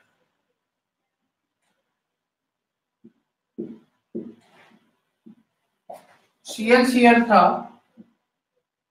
एक C S three C S three था देखिए, होता क्या है, जो डाइपोल मूवमेंट हम लोग कैलकुलेट करते हैं, वो 60 degree bond angle ortho position को कंसीडर करके करते हैं। थ्योरेटिकल डाइपोल मूवमेंट में एग्जैक्ट 60 डिग्री एंगल लिया जाएगा। बेसिकली ऑब्जर्वेशन में ये बॉन्ड एंगल कहीं कम तो नहीं हो गया, या ज़्यादा तो नहीं हो गया, या उतना का उतना ही है। ये देखना बहुत इंपॉर्टेंट है। बेसिकली क्या होता है वेक्टर तुम लोगों ने पढ़ा होगा, अगर बॉन्ड एंगल कम हो रहा है तो वैल्यू बढ़ जाएगी डाइपोल मूवमेंट यानी बढ़ जाएगा। बॉन्ड एंगल बढ़ रहा है कैंसिलेशन शुरू हो जाएगा, और बॉन्ड एंगल अगर बढ़ गया तो डाइपोल मूवमेंट घट गया। तो यहाँ मुझे केवल ये देखना है कि डाइपोल बॉन्ड एंगल का क्या होगा? जो थ्योरेटिकल डाइपोल मूवमेंट है ऑल आर 60 डिग्री कंसीडर करते हुए कैलकुलेट हुए OH और F के केस में basically intramolecular hydrogen bonding create हो जाती है। और intramolecular hydrogen bonding decreases the bond angle decreases the bond angle तो इसमें क्या होगा कि म्यू थ्योरेटिकल और म्यू ऑब्ज़र्व लिखू मैं। तो mu observe is greater than mu theoretical क्योंकि इसका बॉन्ड एंगल कम हुआ due to presence of intramolecular hydrogen bonding intramolecular hydrogen bonding की वजह से इसका डाइपोल मूवमेंट वो बॉन्ड एंगल कम हुआ, इसीलिए ऑब्ज़र्व जो डाइपोल मूवमेंट होगा, वो किससे बढ़ जाएगा? थ्योरेटिकल से इंक्रीज कर जाएगा। दूसरे वाले केस में क्या हो रहा है कि इसके चारों तरफ़ इलेक्ट्रॉन क्लाउड है, ये इलेक्ट्रॉन क्लाउड है, ये एक दूसरे को रिपेल कर और रिपल्शन की वजह से क्या होगा? बॉन्ड एंगल बढ़ेगा। बॉन्ड एंगल बढ़ेगा तो क्या होगा? ऑब्ज़र्व डाइपोल मूवमेंट कम हो जाएगा थ्योरेटिकल डाइपोल मूवमेंट बढ़ जाएगा। तो यानी म्यू टी थ्योरेटिकल के लिए लिख रहा हूँ it is greater than mu observe O के लिए। क्लियर और CS3 के केस में क्या होगा कि no repulsion no attraction bond angle remain 60 degree तो यहाँ पर mu theoretical equal to mu observe होगा। ये तीनों कंडीशन मैंने आपको बता पूछा गया था कि in which case observe dipole movement is greater than theoretical dipole movement तो कौन सा वाला केस हो गया? First is the right answer first is the right answer तो ये डाइपोल मूवमेंट में आपको और ध्यान रखना है कि ऑब्ज़र्व डाइपोल मूवमेंट अलग होते हैं थ्योरेटिकल अलग होते। हैं थ्योरेटिकल तो ऑर्थो पे 60 डिग्री एंगल मेटा पे 120 एंड पैरा पे 180 डिग्री एंगल कंसीडर अब आपका जो शुरू हो रहा है, वो शुरू हो रहा है इक्लुब्रियम के क्वेश्चंस हैं। कुछ इंपॉर्टेंट क्वेश्चंस हैं। इक्लुब्स में 12 नंबर का क्वेश्चन है। इफ़ेक्ट ऑफ़ हीट है बेसिकली। बेसिकली ये क्या है? इफ़ेक्ट ऑफ़ हीट है। हम लोग ये कहते हैं कि अगर मैंने वाटर हीट करा पीएच पे क्या इफ़ेक्ट आएगा? बताओ। पीएच तुम लोग रटे रहते हो सेवन होती है। सेवन किसके लिए होती है? न्यूट्रल वाटर के लिए। लेकिन बेसिकली तुम लोग एक चीज़ भूल जाते हो, ये होती है 25 डिग्री सेंटीग्रेड टेम्परेचर का क्या इफ़ेक्ट आता है? पीएच पर पीओएच पर एच आयन पर ओ एच आयन पर क्या इफ़ेक्ट है? न्यूट्रलिटी पर एसिडिक नेचर पर बेसिक नेचर पर क्या इफ़ेक्ट आता है? तो होता क्या है कि वाटर इफ़ेक्ट ऑफ़ हीट बता रहा हूँ मैं। है ना? बहुत ध्यान से समझने की ज़रूरत है। वाटर को जब डिसोशिएट करोगे तो it gave H ion and O H ion water कितना भी डिसोशिएट हो कितना भी हो it always gave equal H ion and O H ion solution neutral कब होता है जब एच आई एन और ओ एच आयन बराबर सोल्यूशन एसिडिक कब होता है जब H ion O H ion से ग्रेटर और सोल्यूशन एल्कलाइन कब होता है जब O H I N H I N से बराबर ग्रेटर वाटर कितना भी डिसोशिएट हो इक्वल नंबर के एच आयन और ओ एच आयन देगा। बेसिकली देखो होता क्या है। 25 डिग्री सेंटीग्रेड पर ये डिसोशिएट होकर 10 की पावर माइनस सेवन और 10 की पावर माइनस सेवन देता। पीएच एच आयन से निकलेगी, इसीलिए पीएच सेवन होती है। दोनों का मल्टीप्लीकेशन के डब्ल्यू होता है टेन की पावर माइनस फोर्टीन जो हम लोग पढ़ते हैं ना के डब्ल्यू इज़ टेन की पावर माइनस फोर्टीन, वो केवल ट्वेंटी फाइव डिग्री सेंटीग्रेड पर। Only at twenty five degree centigrade अब मैंने इसको हीट कर दिया। हीट करने से क्या होगा? वाटर का डिसोसिएशन इंक्रीज करेगा। ज़्यादा डिसोशिएट होगा। ज़्यादा डिसोशिएट होगा, मान लो मैंने 90 डिग्री सेंटीग्रेड कर लिया फॉर एग्ज़ाम्पल और ये पहुँच गया टेन किया माइनस सिक्स। तो ओ एच आयन भी तो टेन के माइनस सिक्स ही आएँगे। आएँगे नहीं आएँगे? और इसकी पीएच 90 डिग्री सेंटीग्रेड पर क्या हो जाएगी? पीएच इज़ सिक्स पीओएच भी क्या हो जाएगी? सिक्स और के डब्ल्यू इज़ टेन की पावर माइनस ट्वेल्व लेकिन सोल्यूशन पीएच सिक्स होने से कोई एसिडिक थोड़ी ना हो गया। वाटर तो न्यूट्रल ही रहेगा। तो 90 डिग्री सेंटीग्रेड पर भी वाटर न्यूट्रल है, लेकिन उसकी पीएच क्या कर गई? डिक्रीज कर गई। बेसिकली जो बैरियर है ना, जो सेवन वाला बैरियर है सेवन वाला बैरियर 25 डिग्री सेंटीग्रेड पर न्यूट्रल सोल्यूशन को रिप्रेजेंट कर रहा है। सेवन से नीचे वाले एसिडिक होंगे सेवन से ऊपर वाले एल्कलाइन होंगे। लेकिन 90 डिग्री सेंटीग्रेड पर ये बैरियर सिक्स पे आ गया। अब सिक्स वाला न्यूट्रल है, मैंने एक क्वेश्चन कर दिया कि 90 डिग्री सेंटीग्रेड पर एक सोल्यूशन की पीएच 6.5 एक सोल्यूशन जिसकी पीएच 6.5 है what is the nature of this solution तो आप एकदम बोल दोगे acidic this is the wrong thing अब आपको बैरियर देखना है। बैरियर आपका कहाँ से रख के आ गया? सिक्स पे आ गया। सिक्स से ऊपर वाले सारे क्या होंगे? एल्कलाइन होंगे। सिक्स पॉइंट फाइव वाला क्या आ जाएगा? एल्कलाइन हो जाएगा। Six point five is the alkaline अब देखिए क्या हुआ, इसके ऑप्शन पढ़ते हैं। पीओएच ये बात समझ में आ गई ना न्यूट्रल सोल्यूशन रहेगा पीएच डिक्रीज कर जाएगी पीओएच भी डिक्रीज करेगी के डब्ल्यू बढ़ जाएगा। ये टेन का माइनस फोर्टीन था, ये टेन की पावर माइनस ट्वेल्व हो जाएगा।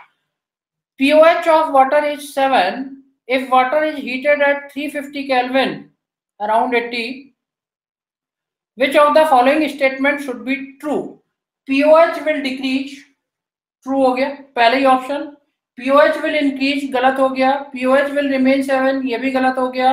Concentration of H I N will increase but that of O H I N will decrease ये गलत हो गया। एच आई एन इंक्रीज कर रही है नो डाउट लेकिन ओ एच आई एन भी इंक्रीज कर रही है। डिक्रीज नहीं कर रही तो इसमें आपका ट्वेल्थ वाला क्वेश्चन ये सॉल्व हो गया। अगला जो थर्टीन नंबर का क्वेश्चन है थर्टीन नंबर के क्वेश्चन में मैंने एक बड़ा ट्रिक दी थी। और ट्रिक क्या दी थी? मेरे लेक्चर में वीडियो लेक्चर बहुतों ने नहीं देखे, लेकिन एक ट्रिक ध्यान रखो कि अगर इक्वल वॉल्यूम्स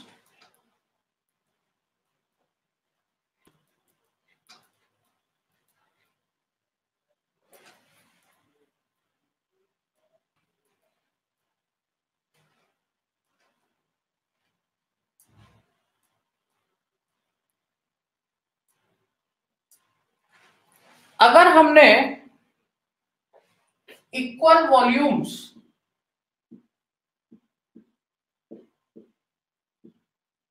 दो सोल्यूशन ऐसे ले लिए, जिसकी pH four and pH six ले लिया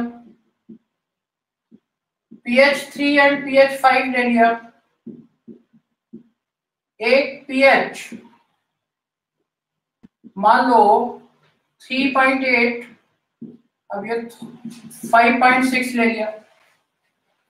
दो सोल्यूशन ऐसे मिक्स करे, उनके इक्वल वॉल्यूम जिसकी pH less than seven less than seven थी तो ऐसे केसेज में आपको कैलकुलेशन करने की ज़रूरत नहीं होती है। इसका आंसर हमेशा आता है लोअर पीएच में पॉइंट थ्री को प्लस कर। कैलकुलेट करोगे, वही आएगा। यहाँ पर सीधे आंसर करने हैं 4.3 इसका आंसर 3.3 इसका आंसर 4.1 कैलकुलेट करते रहोगे, आधा घंटा लग जाएगा वहाँ इतना टाइम नहीं है आपके पास। फटाफट आना चाहिए यहाँ मैंने मिलाया पीएच वन एंड टू दोनों 50 एम एल फिफ्टी एम को मिलाया 1.3 के आसपास आ जाएगा। तो 1.26 इज़ द राइट आंसर इसी तरीके से एक और मैं तुम्हें बताता हूँ कि अगर मान लो तो यहाँ पर याद कर लो कि लोअर पीएच में पॉइंट थ्री को प्लस करना है, जो छोटी वाली पीएच है, उसमें पॉइंट थ्री को आपको प्लस करना है। तो ये फोर में फोर पॉइंट थ्री थ्री में three point three three point eight में point three four point one अगर मैंने इक्वल वॉल्यूम्स मिला दिए ऐसे दो सोल्यूशन जिसकी पीएच ग्रेटर देन सेवन है, यानी एल्कलाइन सोल्यूशन के लिए।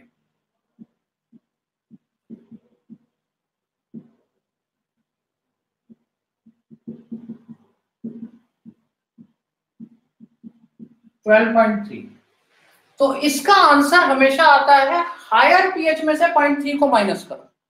हायर पीएच में से पॉइंट थ्री को माइनस करो, ये आपका क्या आ जाएगा? Twelve point seven twelve point four twelve is the right answer खत्म। तो ऐसे टाइप के क्वेश्चन फटाफट आपके ऐसे ही सॉल्व हो जाएँगे।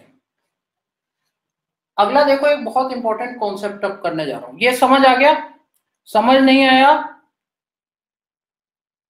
ओ अच्छा। गुड गुड बेटा, इसमें तुम्हें टाइम ही नहीं लगना। दो इक्वल वॉल्यूम मिलाए अगर कोई एसिडिक सोल्यूशन है तो आंसर लोअर पीएच में पॉइंट थ्री को प्लस कर दो। तुम सॉल्व करोगे, यही आंसर आएगा।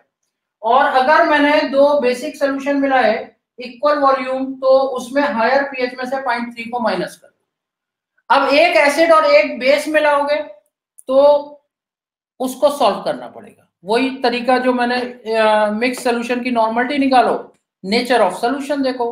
अगर एसिडिक है तो एच बन जाएँगे, और अगर बेसिक है तो ओ एच बन जाएँगे, उसके बाद पीएच निकाल सकते हो। इसमें कुछ करना ही नहीं है आपको।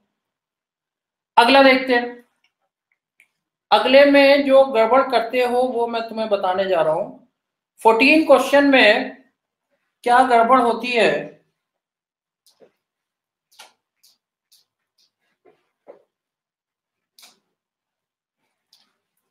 आपसे कहा गया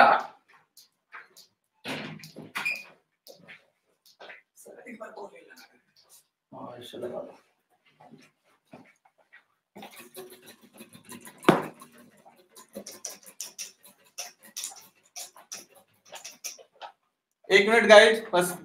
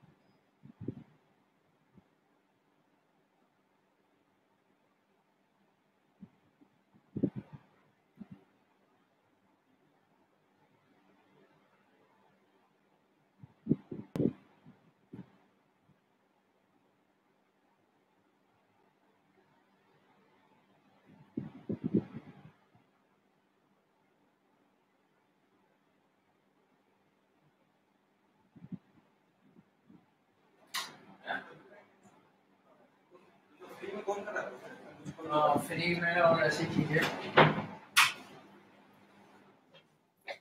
हाँ गाइज़ अब देखो ये 14 वाला क्वेश्चन है। 14 क्वेश्चन बहुत इंपॉर्टेंट है। विच इज़ हाइड्रोलाइज्ड मार्कर लगे तो चेक कर हाँ। Which salt is which is hydrolyzed? More. और इसके ऑप्शन गिवन है NH4Cl अब इसमें देखो एक बहुत इंपॉर्टेंट चीज़ बताने जा रहा हूँ, इसको देखना ध्यान से। AlCl3 सॉलिबिलिटी भी आ जाएगी। ऑल हैव सेम बेसिकली अगर हम इन सॉल्ट्स को देखें तो ये सॉल्ट किससे मिलके बना हुआ है? Weak base and strong acid weak base strong acid weak base strong acid दिमाग में आता है ये सारे एक ही टाइप के सॉल्ट है ऑल हैव सेम गलत आंसर हो जाएगा। या हाइड्रोलाइट छोड़ो। तुमसे पूछा कि इसे मोस्ट सॉलेबल सॉल्ट कौन सा होगा? बहुत आता है क्वेश्चन लीस्ट सॉलेबल कौन सा होगा? तो एक बात हमेशा ध्यान रखो कि किसी भी सॉल्ट में जितना ज़्यादा कैटाइनिक चार्ज होता जाएगा उसकी हाइड्रोलिसिस उतनी मुश्किल से होगी। और उतनी मुश्किल से होगी, उतनी कम सॉलिबिलिटी होगी। उतनी कम सॉलिबिलिटी होगी। और ये क्यों होता है? इसको पूरा ड्राइव मैं नहीं करा रहा हूँ, ना तुम्हें इसकी अभी ज़रूरत है। वो तो वीडियो वगैरह देखोगे तो उसमें आ जाएगा। लेकिन उसकी अभी तुम्हें नीड भी नहीं है। केवल बस अपने दिमाग में कॉन्सेप्ट क्रिएट करो। बेसिकली क्या होता है कि इसका जो के एच होता है, वो K W upon K W is the ionic product of water K B is the ionization constant for base और मैंने ये एक लाइन और लिखी है शायद इसमें। मैंने ये लिखा है कि मान लेते हैं सारे वीक बेस का आयनाइजेशन सेम है, यानी बी की वैल्यू सेम तो सबका एच सेम आ जाना चाहिए था? नहीं। बेसिकली यहाँ पर कॉपर प्लस टू है सल्फेट टू माइनस है। इसका जो के एच आएगा, वो के एच के डब्ल्यू का स्क्वायर टेन की पावर माइनस फोर्टीन का स्क्वायर का मतलब के एच तो बहुत कम हो गया। के एच तो बहुत कम हो गया। और यहाँ पर के एच जो आएगा, जितना चार्ज, एन प्लस थ्री है के डब्ल्यू का क्यूब अपॉन के बी हो ये क्या शो कर रहा है? ये ये शो कर रहा है कि हाइड्रोलिसिस लगातार डिक्रीज हो रही है। जितना कम के एच उतनी कम हाइड्रोलिसिस। तो कौन सा हाइड्रोलाइज ज़्यादा से ज़्यादा होगा? दैट इज़ NH4Cl और अगर आपसे क्वेश्चन ये कर लिया जाए कि कौन सा मोस्ट सॉल्युबल होगा तो NH4Cl is the most soluble और AlCl3 is the least soluble तो कहीं पर भी किसी भी सॉल्ट में चार्ज को देखना होगा। आप सॉलिबिलिटी का आंसर भी इसमें कर सकते हैं। अगला क्वेश्चन है पीएच ऑफ़ ये बात क्लियर हो गई सबको? फिर से बताना है।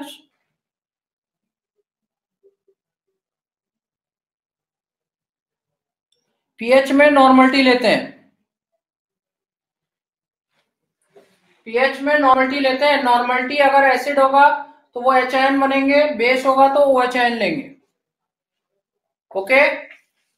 ये बात समझ में आ गई? इससे सारी सॉलिबिलिटी नहीं तो सारी गड़बड़ करते रहते हो। सॉलिबिलिटी चार्ज पर डिपेंड करेगी। हाइड्रोलिसिस चार्ज पर डिपेंड करेगी। जितना ज़्यादा चार्ज उतनी कम हाइड्रोलिसिस कम सॉलिबिलिटी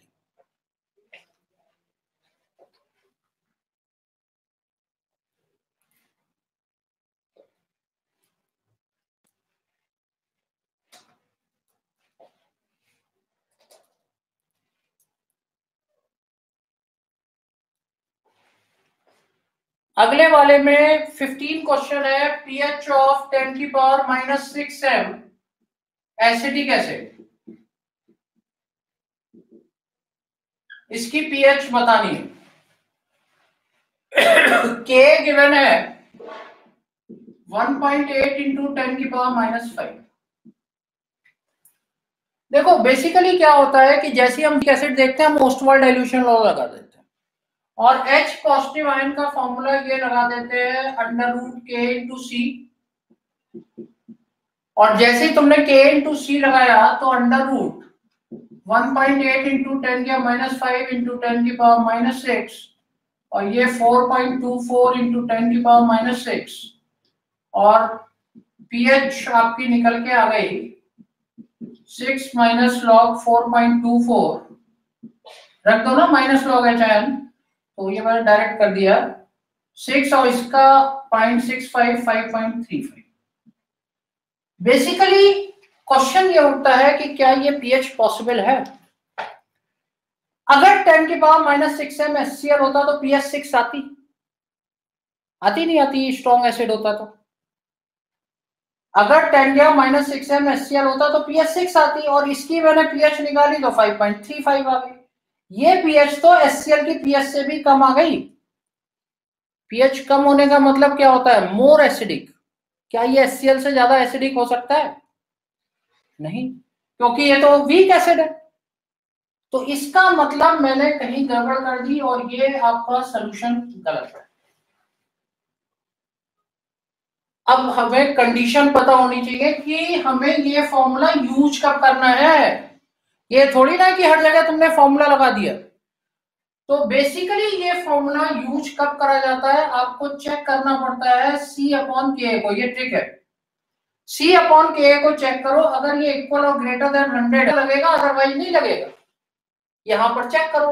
टेन की पावर माइनस सिक्स रखो। One point eight into ten या माइनस फाइव रखो। Less than one less than one में ये फॉर्मूला एप्लीकेबल नहीं है। लेस देन वन का मतलब कि ये वेरी डाइल्यूट सोल्यूशन है और यहाँ अल्फ़ा को हम नेग्लेक्ट नहीं कर सकते क्योंकि on dilution degree of ionization increase तो यहाँ पर ये लेस देन वन आ गया। लेस देन वन आ गया तो आप रखें क्या? तो ये मैंने सारा सॉल्व कर रखा है। अगर if C upon K is less than one alpha point 0.9 1 to 10 alpha H point seven ये मेरा कैलकुलेटेड है, इसलिए तुम्हें परेशान नहीं होना है, याद रख लो। अल्फ़ा एच पॉइंट फाइव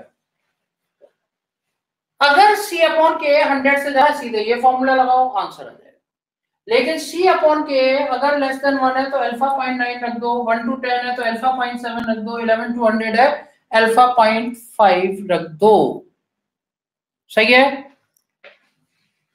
अब इसमें आपने लेस देन वन आया अल्फ़ा पॉइंट वन रखेंगे तो H प्लस आयन का फॉर्मूला एक और भी होता है ना? सी अल्फ़ा टेन की power minus six into point nine nine into ten की power minus seven P H H seven minus log nine seven minus point nine five four six point zero four six now it is more than 6 in between 6 and 7 this is the right answer. ये answer गलत हो गया 5.35 तो वैसे ही possible नहीं है, क्योंकि six से कम थोड़ी ना आ जाएगी। इसीलिए आपको फॉर्मूले का कंडीशन पता होनी चाहिए अदरवाइज़ तो सारा गलत हो जाएगा। और वहाँ पर वो सारे ऑप्शन होंगे, जितना भी गलत आप सोच सकते हैं। आप देखिए, इसमें जो मैंने पहला ही ऑप्शन दिया था 5.37 दिया था। और दूसरा ऑप्शन था in between six and seven this is the right option 16 वाला क्वेश्चन बेसिकली क्या है? 16 वाले क्वेश्चन में आपको दे रखा है बफर सोल्यूशन की फॉर्मेशन इसको हम कैसे करते हैं? ये नोट डाउन कर लिया आपने?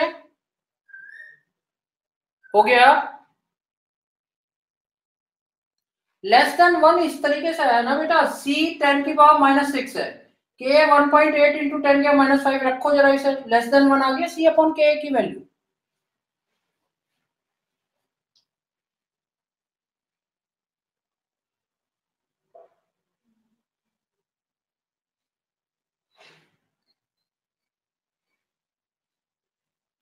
படம்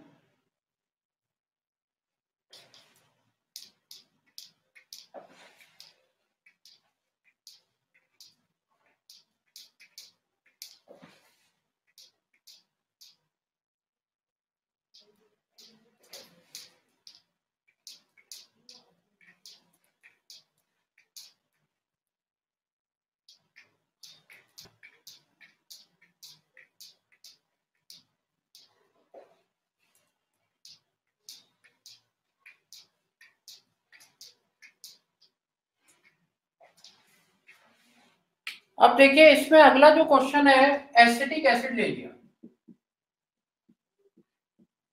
और एनएच ले लिया। ये गिवन है 60 एम एल वन एम और ये गिवन है 20 एम एल वन एम इस मिक्सचर की मुझे पीएच निकालनी है। अब तुम लोग क्या करते हो कि एस्टिक एसिड की अलग से पीएच निकाल दी एनएच की अलग से और दोनों को मिला दिया? ऐसे नहीं होता है। बेसिकली जब दोनों सोल्यूशन में पड़े हुए हैं तो वो कर क्या रहे हैं? ये तो देखो, कहीं आपस में रिएक्ट तो नहीं कर जा रहे हैं। और रिजल्टेंट क्या बन रहा है? वो मैटर करेगा। रिजल्टेंट में क्या आ रहा है? वो मैटर करेगा। तो यहाँ बेसिकली देखो, ये बहुत बढ़िया क्वेश्चन है। एसिड बेस आपस में रिएक्ट करके सॉल्ट एंड वाटर बना देंगे। C S three CO N A plus water इससे बफर सोल्यूशन बन जाएगा, जो तुम सोच भी नहीं सकते। यहाँ पर शुरू में ये ज़ीरो ज़ीरो होगा एट ज़ीरो टाइम इसके बाद this is the limiting reagent 20 M L one M और लिमिटिंग रिएजेंट है तो ये पूरा खत्म। ये बन गया 20 एम एल वन एम बाकी पानी ये ज़ीरो, ये बच गया 40 एम एल वन एम अब मेरे पास रिजल्टेंट सोल्यूशन में एस्टिक एसिड और सोडियम एसिटेट है। और क्या ये एसिडिक बफर सोल्यूशन नहीं बन गया? एसिडिक बफर सोल्यूशन यही तो होता है weak acid and it salt with strong base acetic acid plus sodium acetate तो जब ये बफर सोल्यूशन बन गया तो अब मुझे अगर पीएच निकालनी है तो बफर सोल्यूशन का फॉर्मूला लगाना पड़ेगा, नहीं लगाना पड़ेगा? तो यहाँ पर पीएच इज़ इक्वल टू क्या होगा? बफर का फॉर्मूला बोलो वीक एसिड का pH is equal to P K plus log salt upon acid ये हो गया। और बफर सोल्यूशन में एक और ध्यान रखो, बहुत इंपॉर्टेंट चीज़। कंसंट्रेशन की जगह पे क्या रखते हैं? कंसंट्रेशन की जगह पे रखा जाता है मिली मोल्स डायरेक्ट रख दो, क्योंकि ये रेशो है टोटल वॉल्यूम कैंसिल हो जाता है। And what is the millimoles millimoles होते हैं molarity into volume in mL molarity into volume in mL तो ये मेरे पास आ जाएगा minus log 1.8 point eight into ten या minus five plus log salt हो गया 20 into one upon forty into one अब ये मैं सॉल्व कर दे रहा हूँ लॉग 1.8 होता है पॉइंट टू फाइव ये पूरा 4.75 और माइनस लॉग टू आ जाएगा माइनस पॉइंट थ्री आ जाएगा four point four five pH का ये आंसर और ये अल्टरनेट गिवन है 4.45 clear guys means molarity into volume in mL log की वैल्यू गिवन होंगी एग्ज़ाम के पेपर क्लियर अगला देखो, अगला अलग कॉन्सेप्ट है कि सॉलिबिलिटी को आपको कैसे डिसाइड करना पड़ता है। सॉलिबिलिटी कब, कम और ज़्यादा होती है, इसको जरा देखो।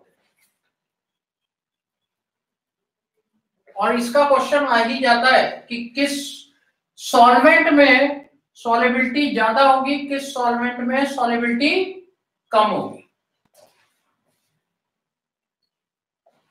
सेवनटीन क्वेश्चन में मान लो एक कॉन्सेप्ट लेते हैं पीबीएसओ फोर सॉल्ट केएसपी तो तुम्हें पता है ना? केएसपी तो पता है बेटा? KSP is equal to ionic product होता है for saturated solution PbSO4 let 2 plus plus SO4 2 minus होता है. X X इसकी सॉलिबिलिटी होती है. अब मैं जब KSP लिखूँगा KSP of lead sulphate is equal to X into X लिखूँगा। Lead ion into sulphate ion X square इसका फॉर्मूला हो जाएगा, बहुत बढ़िया। एक्स स्क्वायर इसका फॉर्मूला हो जाएगा। अब यहाँ पर क्या कंडीशन आ सकती है? देखो सॉलिबिलिटी कैसे चेंज होती है।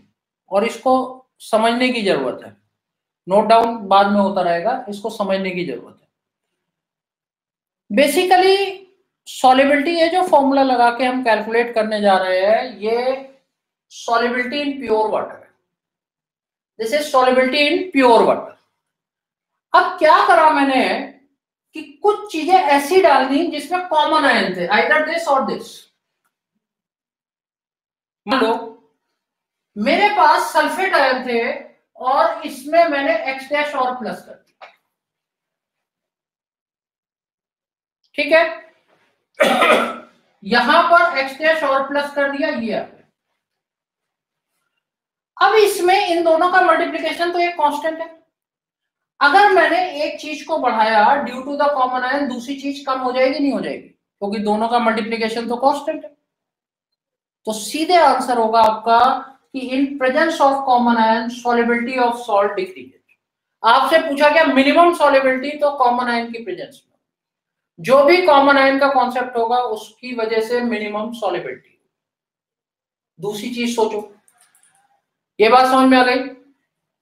अगर मान लो मैं यहाँ पर प्लस की जगह माइनस कर दू तो ये पार्ट बढ़ जाएगा नहीं बढ़ जाएगा? माइनस कब होगा? कॉमन आयन से बढ़ता है और सोलिबिलिटी क्या होती है? कम होती है। एक आयनिक प्रोडक्ट बढ़ता है, दूसरा आयनिक प्रोडक्ट क्या हो जाएगा? कम हो जाएगा सोलिबिलिटी कम हो जाएगी। बढ़ने का तरीका केवल एक ही है सॉलिबिलिटी का कि किसी को माइनस करे। जैसे इसे मैंने माइनस करा, या इसको माइनस कर देता। वो केवल एक ही सॉल्वेंट में होता है। और वो सॉल्वेंट है NH4OH याद कर लो। NH4OH में जैसे ही हम किसी सॉल्ट को डालते हैं तो cation of salt form complexes with NH4OH cation consume होना शुरू होता है, दूसरा पार्ट बढ़ जाता है and solubility becomes more than the pure water अब बेसिकली देखो, दो तीन पॉइंट नोट करना चाहो तो नोट कर सकते हो। प्योर वाटर में सॉलिबिलिटी मैं बोलता जा रहा हूँ, उसे तुम नोट कर, करना चाहो नोट कर लो। सॉलिबिलिटी प्योर वाटर में एक नॉर्मल होती है। कॉमन आयन की प्रेजेंस में सॉलिबिलिटी कम होती है। मान लो, ढेर सारे अल्टरनेट कॉमन आयन तो याद रखो जैसे जैसे कॉमन आयन कंसंट्रेशन बढ़ती जाएगी सॉलिबिलिटी फर्दर डिक्रीज करेगी। केवल कॉमन आयन की कंसंट्रेशन पर ध्यान रखो, जो भी कॉमन आयन हो, जैसे एजीसीएल की सॉलिबिलिटी देख रहे हैं तो एजीएनओ डाला तो सिल्वर आयन देखना है डाला तो क्लोराइड आयन देखना जैसे जैसे कॉमन आयन कंसंट्रेशन बढ़ती जाएगी सॉलिबिलिटी ऑफ़ सॉल्ट डिक्रीज करती जाएगी। और NH4OH एक ऐसा सॉल्वेंट है, जिसमें सॉलिबिलिटी प्योर वाटर से भी ज़्यादा होती है क्योंकि एक आयन ऑफ़ सॉल्ट कंज्यूम हो जाता है। एक आयन ऑफ़ सॉल्ट कंज्यूम हो जाता है। दैट्स ऑल तो ये इसका ऑप्शन क्या हो जाएगा? Point zero one M N H four O H अरे, ये बात समझ में आई? स्लोली काजल, बात समझ में आई है? नोट करा कि कॉमन आयन की प्रेजेंस में सॉलिबिलिटी कम होनी है। जैसे जैसे कॉमन आयन कंसंट्रेशन बढ़ाएँगे solubility of salt further decrease करेगी। NH4OH में सॉलिबिलिटी बढ़नी है। सही है? अगला जो कॉन्सेप्ट है ऑक्सीडेशन नंबर ऑफ़ सल्फ़र ये तो तुम निकाल लोगे। ज़ीरो ऑक्सीडेशन नंबर तो तुम्हें आता है। According to Bronsted Lowry concept the correct order of relative strength 19 की बात कर रहा हूँ। Correct order of relative strength of bases follows the order ये मुझे बताना है O H minus C S three C O minus C L minus basic nature आपको बताना है। कंजुगेट एसिड बेस थ्योरी में एक लाइन ध्यान रखो। जितने भी स्ट्रॉन्ग एसिड और स्ट्रॉन्ग बेस है, उनके कंजुगेट एसिड बेस हमेशा वीक होते हैं। और जितने भी वीक एसिड और वीक बेस हैं, उनके कंजुगेट एसिड बेस स्ट्रॉन्ग होते कभी पॉसिबल नहीं होता कि स्ट्रॉन्ग का स्ट्रॉन्ग या वीक का वीक कंजुगेट एसिड बेस हो बस, अब देखो इससे निकाल देते हैं। कंजुगेट एसिड बेस पता है? H प्लस आयन के डिफरेंस वाले कंजुगेट एसिड बेस होते हैं। कंजुगेट एसिड अगर मुझे बनाना है तो इसमें एच प्लस आयन जोड़ दिया वाटर बन गया। ये एस्टिक एसिड बन गया। ये HCl बन गया। वाटर एस्टिक एसिड HCl अब आपको एसिडिक स्ट्रेंथ पता होनी चाहिए एचसीएल सबसे स्ट्रॉन्गेस्ट हो गया, नहीं हो गया? एसिटिक एसिड उसके बाद और water is the weakest one तो बेसिक स्ट्रेंथ क्या होगी? OH माइनस आयन सबसे बड़ा और chloride ion is the weakest base उल्टा हो जाएगा, काम खत्म. अरे बात समझ में आई? जितने भी स्ट्रॉन्ग एसिड है, उनके कंजुगेट बेस क्या होंगे? वीक होंगे. तो HCl का Cl एसिटिक एसिड का एसिडेट वाटर का OH माइनस ये इधर इंक्रीज कर रहे हैं, ये इधर डिक्रीज कर जाएँगे ओके अगला जो है ट्वेंटियथ क्वेश्चन जो है डिसप्रपोर्शनेशन का एन फैक्टर निकालना। अभी तक हमने एन फैक्टर मैंने पहले वाले क्वेश्चंस में काफ़ी कवर कर थे। तो एन फैक्टर लेकिन disproportionation reaction is that in which same element is oxidised as well as reduced और उसका एन फैक्टर निकालने के लिए हम करते क्या है कि दोनों तरीके से इक्वलेंट वेट कैलकुलेट करते हैं।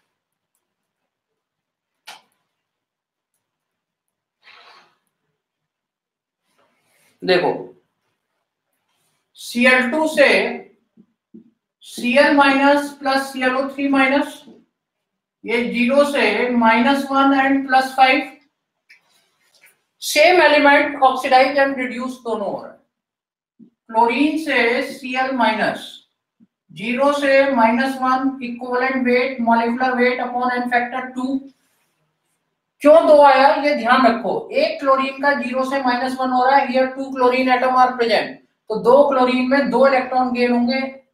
Hence the N factor is two अगला है क्लोरीन का ClO3 माइनस ज़ीरो से plus five M by ten हो जाएगा।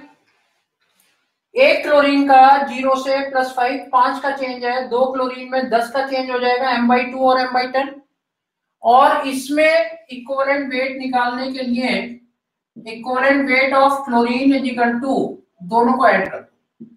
M by two M by ten ten LCM five M plus M six M by ten that is three M by five N factor क्या होगा? अगर M upon five by three करूँगा, तभी तो आएगा।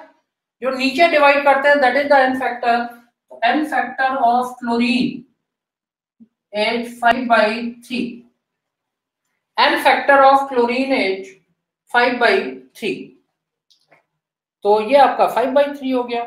अगला जो मैंने बताया था, एक शुरू में कॉन्सेप्ट बताया था कि inverse of N factor ratio is the mole ratio यहाँ पर उल्टा दे रखा है, यहाँ मोल रेशो दे रखा है, मुझे एन फैक्टर रेशो निकालना आ जाएगा एन फैक्टर एन फैक्टर मुझे बताना है किसका? इक्वलेंट वेट ऑफ़ एससीएल ये नोट कर लिया?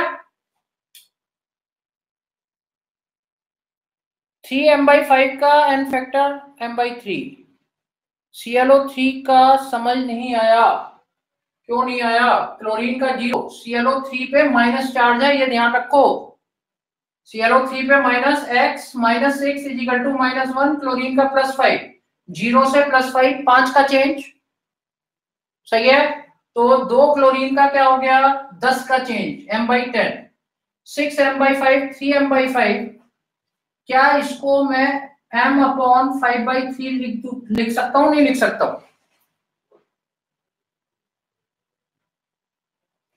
और जब मैं इसे फाइव बाई थ्री लिख सकता हूँ, यही तो एन फैक्टर होगा।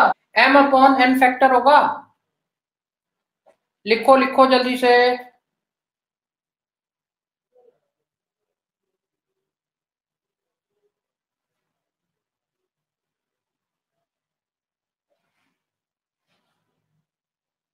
थ्री एम बाई फाइव क्या है? This is the equivalent weight of chlorine equivalent weight of chlorine है three M by five M is the molecular weight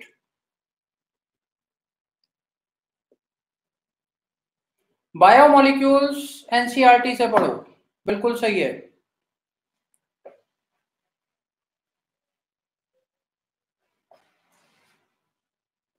हटा दूँ।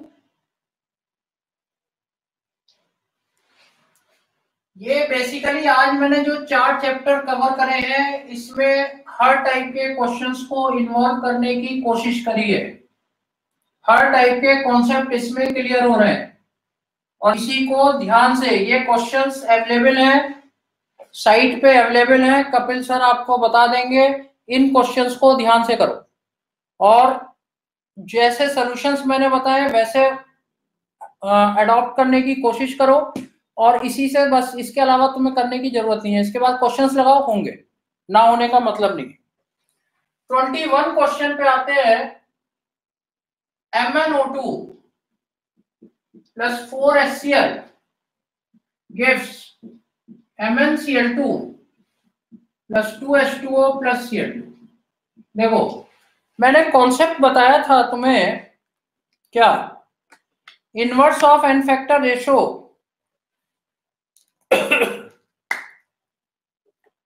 basic concept के लेक्चर कपिल सर से बात करो। M N O two plus four S C L है। Mole ratio क्या है? Mole ratio one is to four हो गया। एन फैक्टर रेशो क्या होगा inverse of mole ratio is the N factor ratio four is to one अब तुमने यहाँ वन आ गया। तुमने सीधे आंसर लगा दिया one and that is the wrong basically क्या है कि एम एन ओ टू में M N H plus four और here M N H plus two दो का चेंज आ रहा है। दो का चेंज आ रहा है। और दो का चेंज आने पर इसका एक्चुअल एंड फैक्टर दो है। एक्चुअल एंड फैक्टर टू है। अब इस फोर को मुझे टू बनाना है। तो मुझे कितने से मल्टीप्लाई करे? करना पड़ेगा वन बाई टू से। तो ये टू बन गया। जब इधर मैंने वन बाई टू से मल्टीप्लाई करा तो इधर भी one by two N factor of S half not one और ये तुमने सुना ही नहीं होगा, किसी इक्वेशन में टू एम आ गया एन फैक्टर हाफ़ आ गया। तो बेसिकली जैसी इक्वेशन आएगी। इक्वेशन में ये नहीं कि एस सी एल का वन ही होता है एम बाई वन ही लिखोगे, या एच एन ओ थ्री का एम बाई वन लिखोगे एच टू फोर का M by two according to the equation जाना पड़ेगा। यहाँ पर एससीएल का एन फैक्टर हाफ़ है। और क्या पूछा है? इक्विवेलेंट वेट पूछा है ना? तो एन फैक्टर ऑफ़ एससीएल क्यों हाफ़ है? इसे हाफ़ से क्यों मल्टीप्लाई करना पड़ा? क्योंकि एम एन प्लस फोर से क्या हो रहा है? प्लस टू हो रहा है। N factor of SCl is half and equivalent weight of SCl is equal to m upon 1 by 2 that is 2m. This is the answer तो इक्वेशन में क्वेश्चन में निकालना यही तरीका है। Inverse of n factor ratio is the mole ratio inverse of mole ratio is the n factor ratio balance करनी है तो बैलेंस भी ऐसी होनी है और बैलेंसिंग से एन फैक्टर भी ऐसे निकलना। है और लास्ट इस सेशन का लास्ट क्वेश्चन है which acts as reducing agent इसका एक कॉन्सेप्ट मैं तुम्हें बताता हूँ। ये नोट कर लिया। समझ नहीं आया? क्या नहीं आया समझ? इसको फिर से देखो M N O two plus four S C L है। Mole ratio one is to four है। मैंने शुरू वाले क्वेश्चन में बताया था inverse of mole ratio is the n factor ratio तो एन फैक्टर रेशो क्या हो गया? फोर इज़ टू वन हो गया। अब एम एन ओ टू का एन फैक्टर एक्चुअल में दो है, क्योंकि ये दो का ही चेंज शो कर रहा है। तो इसे मुझे फोर को दो बनाने के लिए वन बाई टू से मल्टीप्लाई करना पड़ेगा।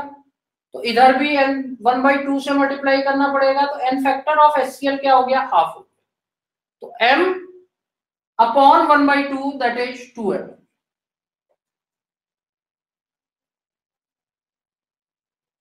अगला देखो which acts as reducing agent which acts as reducing agent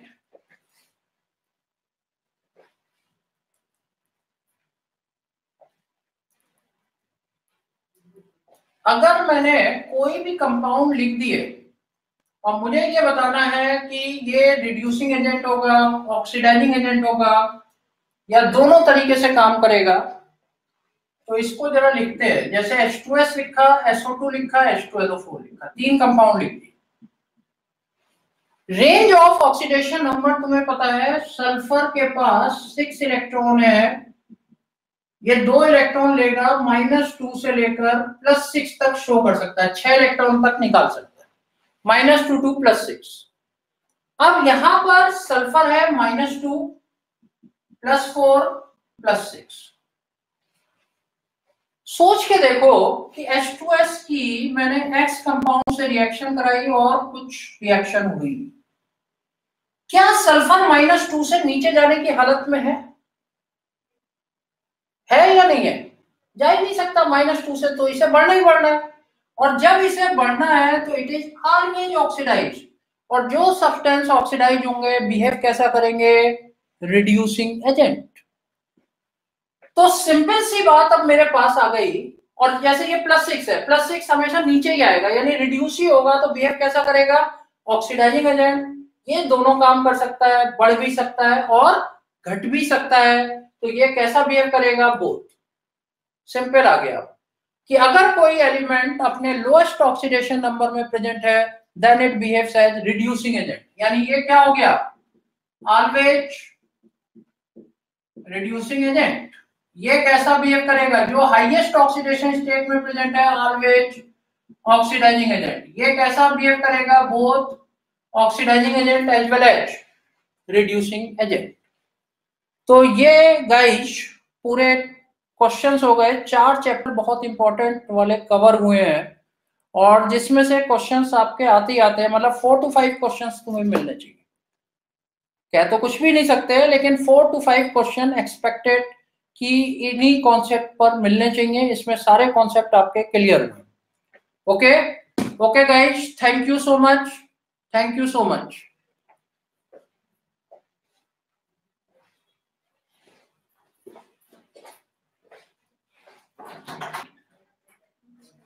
है? खत्म कर दिया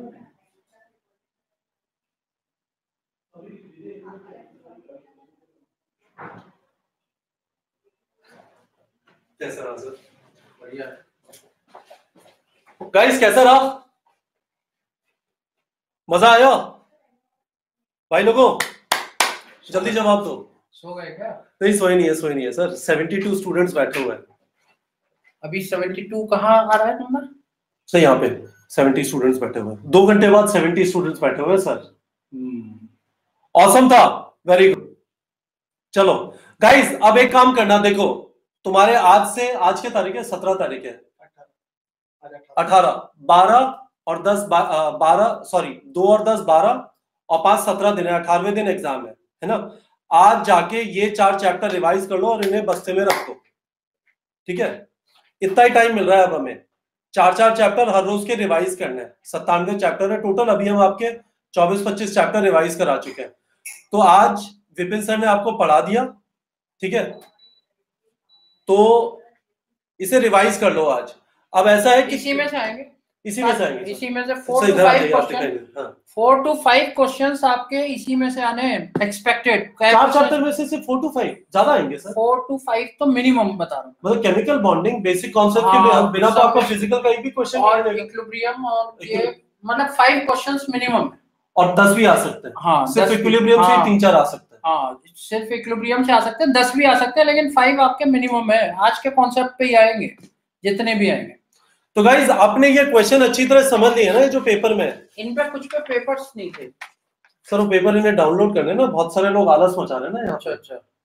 इन्हें बोल बोल के दुखी हो गए कि टेलीग्राम पे जाके। ठीक है? विपिन सर का नेक्स्ट सेक्शन फ़िज़िकल केमिस्ट्री का ही होगा जिसमें हम ट्वेल्थ के ट्वेल्थ के टॉपिक कवर कर थर्मोडायनेमिक्स भी कवर करनी है हाँ कर लेंगे। पर solution solid state chemical kinetics हाँ केमिकल Electrochemistry. एंड इलेक्ट्रोकेमिस्ट्री ये चार चैप्टर्स आपके कवर होंगे ट्वेल्थ के। नेक्स्ट वाले में चार चैप्टर कवर करेंगे। क्योंकि वो भी सारे इंपॉर्टेंट हैं उसमें भी फाइव टू सिक्स क्वेश्चन पूरी फ़िज़िकल में से फिफ्टीन क्वेश्चन आए ठीक है।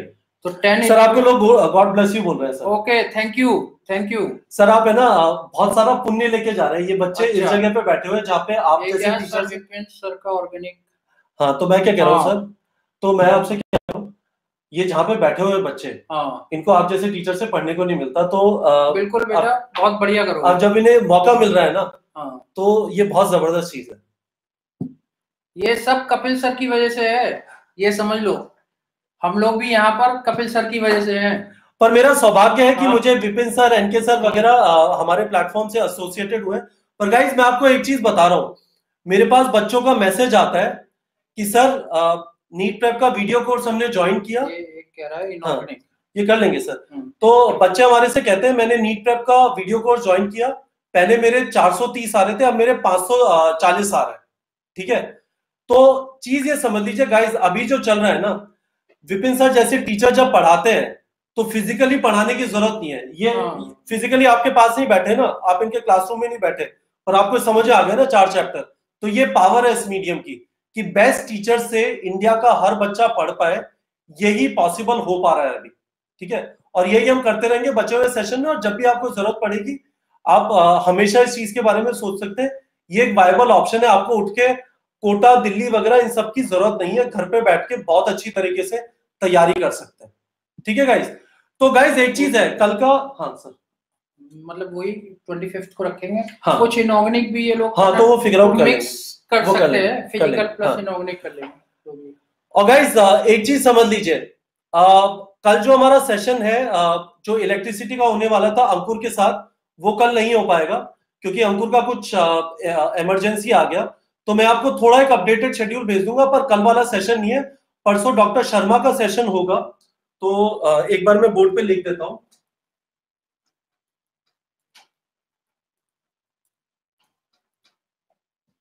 नो सेशन टुमारो ठीक है? और फ्राइडे को डॉक्टर एनके शर्मा का है। फ्राइडे को डॉक्टर एनके शर्मा का है। आपको शेड्यूल आपके पास है, यदि आप टेलीग्राम पे हो। तीन चैप्टर कवर होंगे, ढाई चैप्टर लोकोमोशन एंड मूवमेंट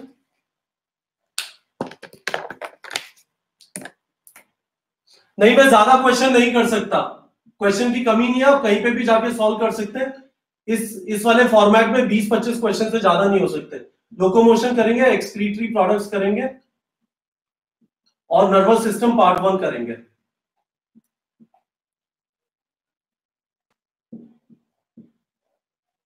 ठीक है? नर्व इम्पल्स करेंगे इसके अंदर। ठीक है गाइस तो बहुत सारे क्वेश्चन टेलीग्राम पे पड़े आप वहाँ पे जाके सॉल्व कर सकते हैं। डायग्राम बेस्ड पेपर है उसको कर सकते हैं। तो आपके पास सारे रिसोर्सेज अवेलेबल है। अब आज जो बचा हुआ टाइम है ना इसमें चार चैप्टर प्रॉमिस करिए रिवाइज कर लेंगे। दैट इज़ वेरी इंपॉर्टेंट इससे है ना ये सारी चीज़ कंसोलिडेट हो जाएगी। एक बार पेपर वापस देख लो उसके सोल्यूशन वापस देख लो। ठीक है? चले गाइस बेस्ट ऑफ़ लक अब आपसे नेक्स्ट टाइम मिलेंगे। Okay guys okay bye thank you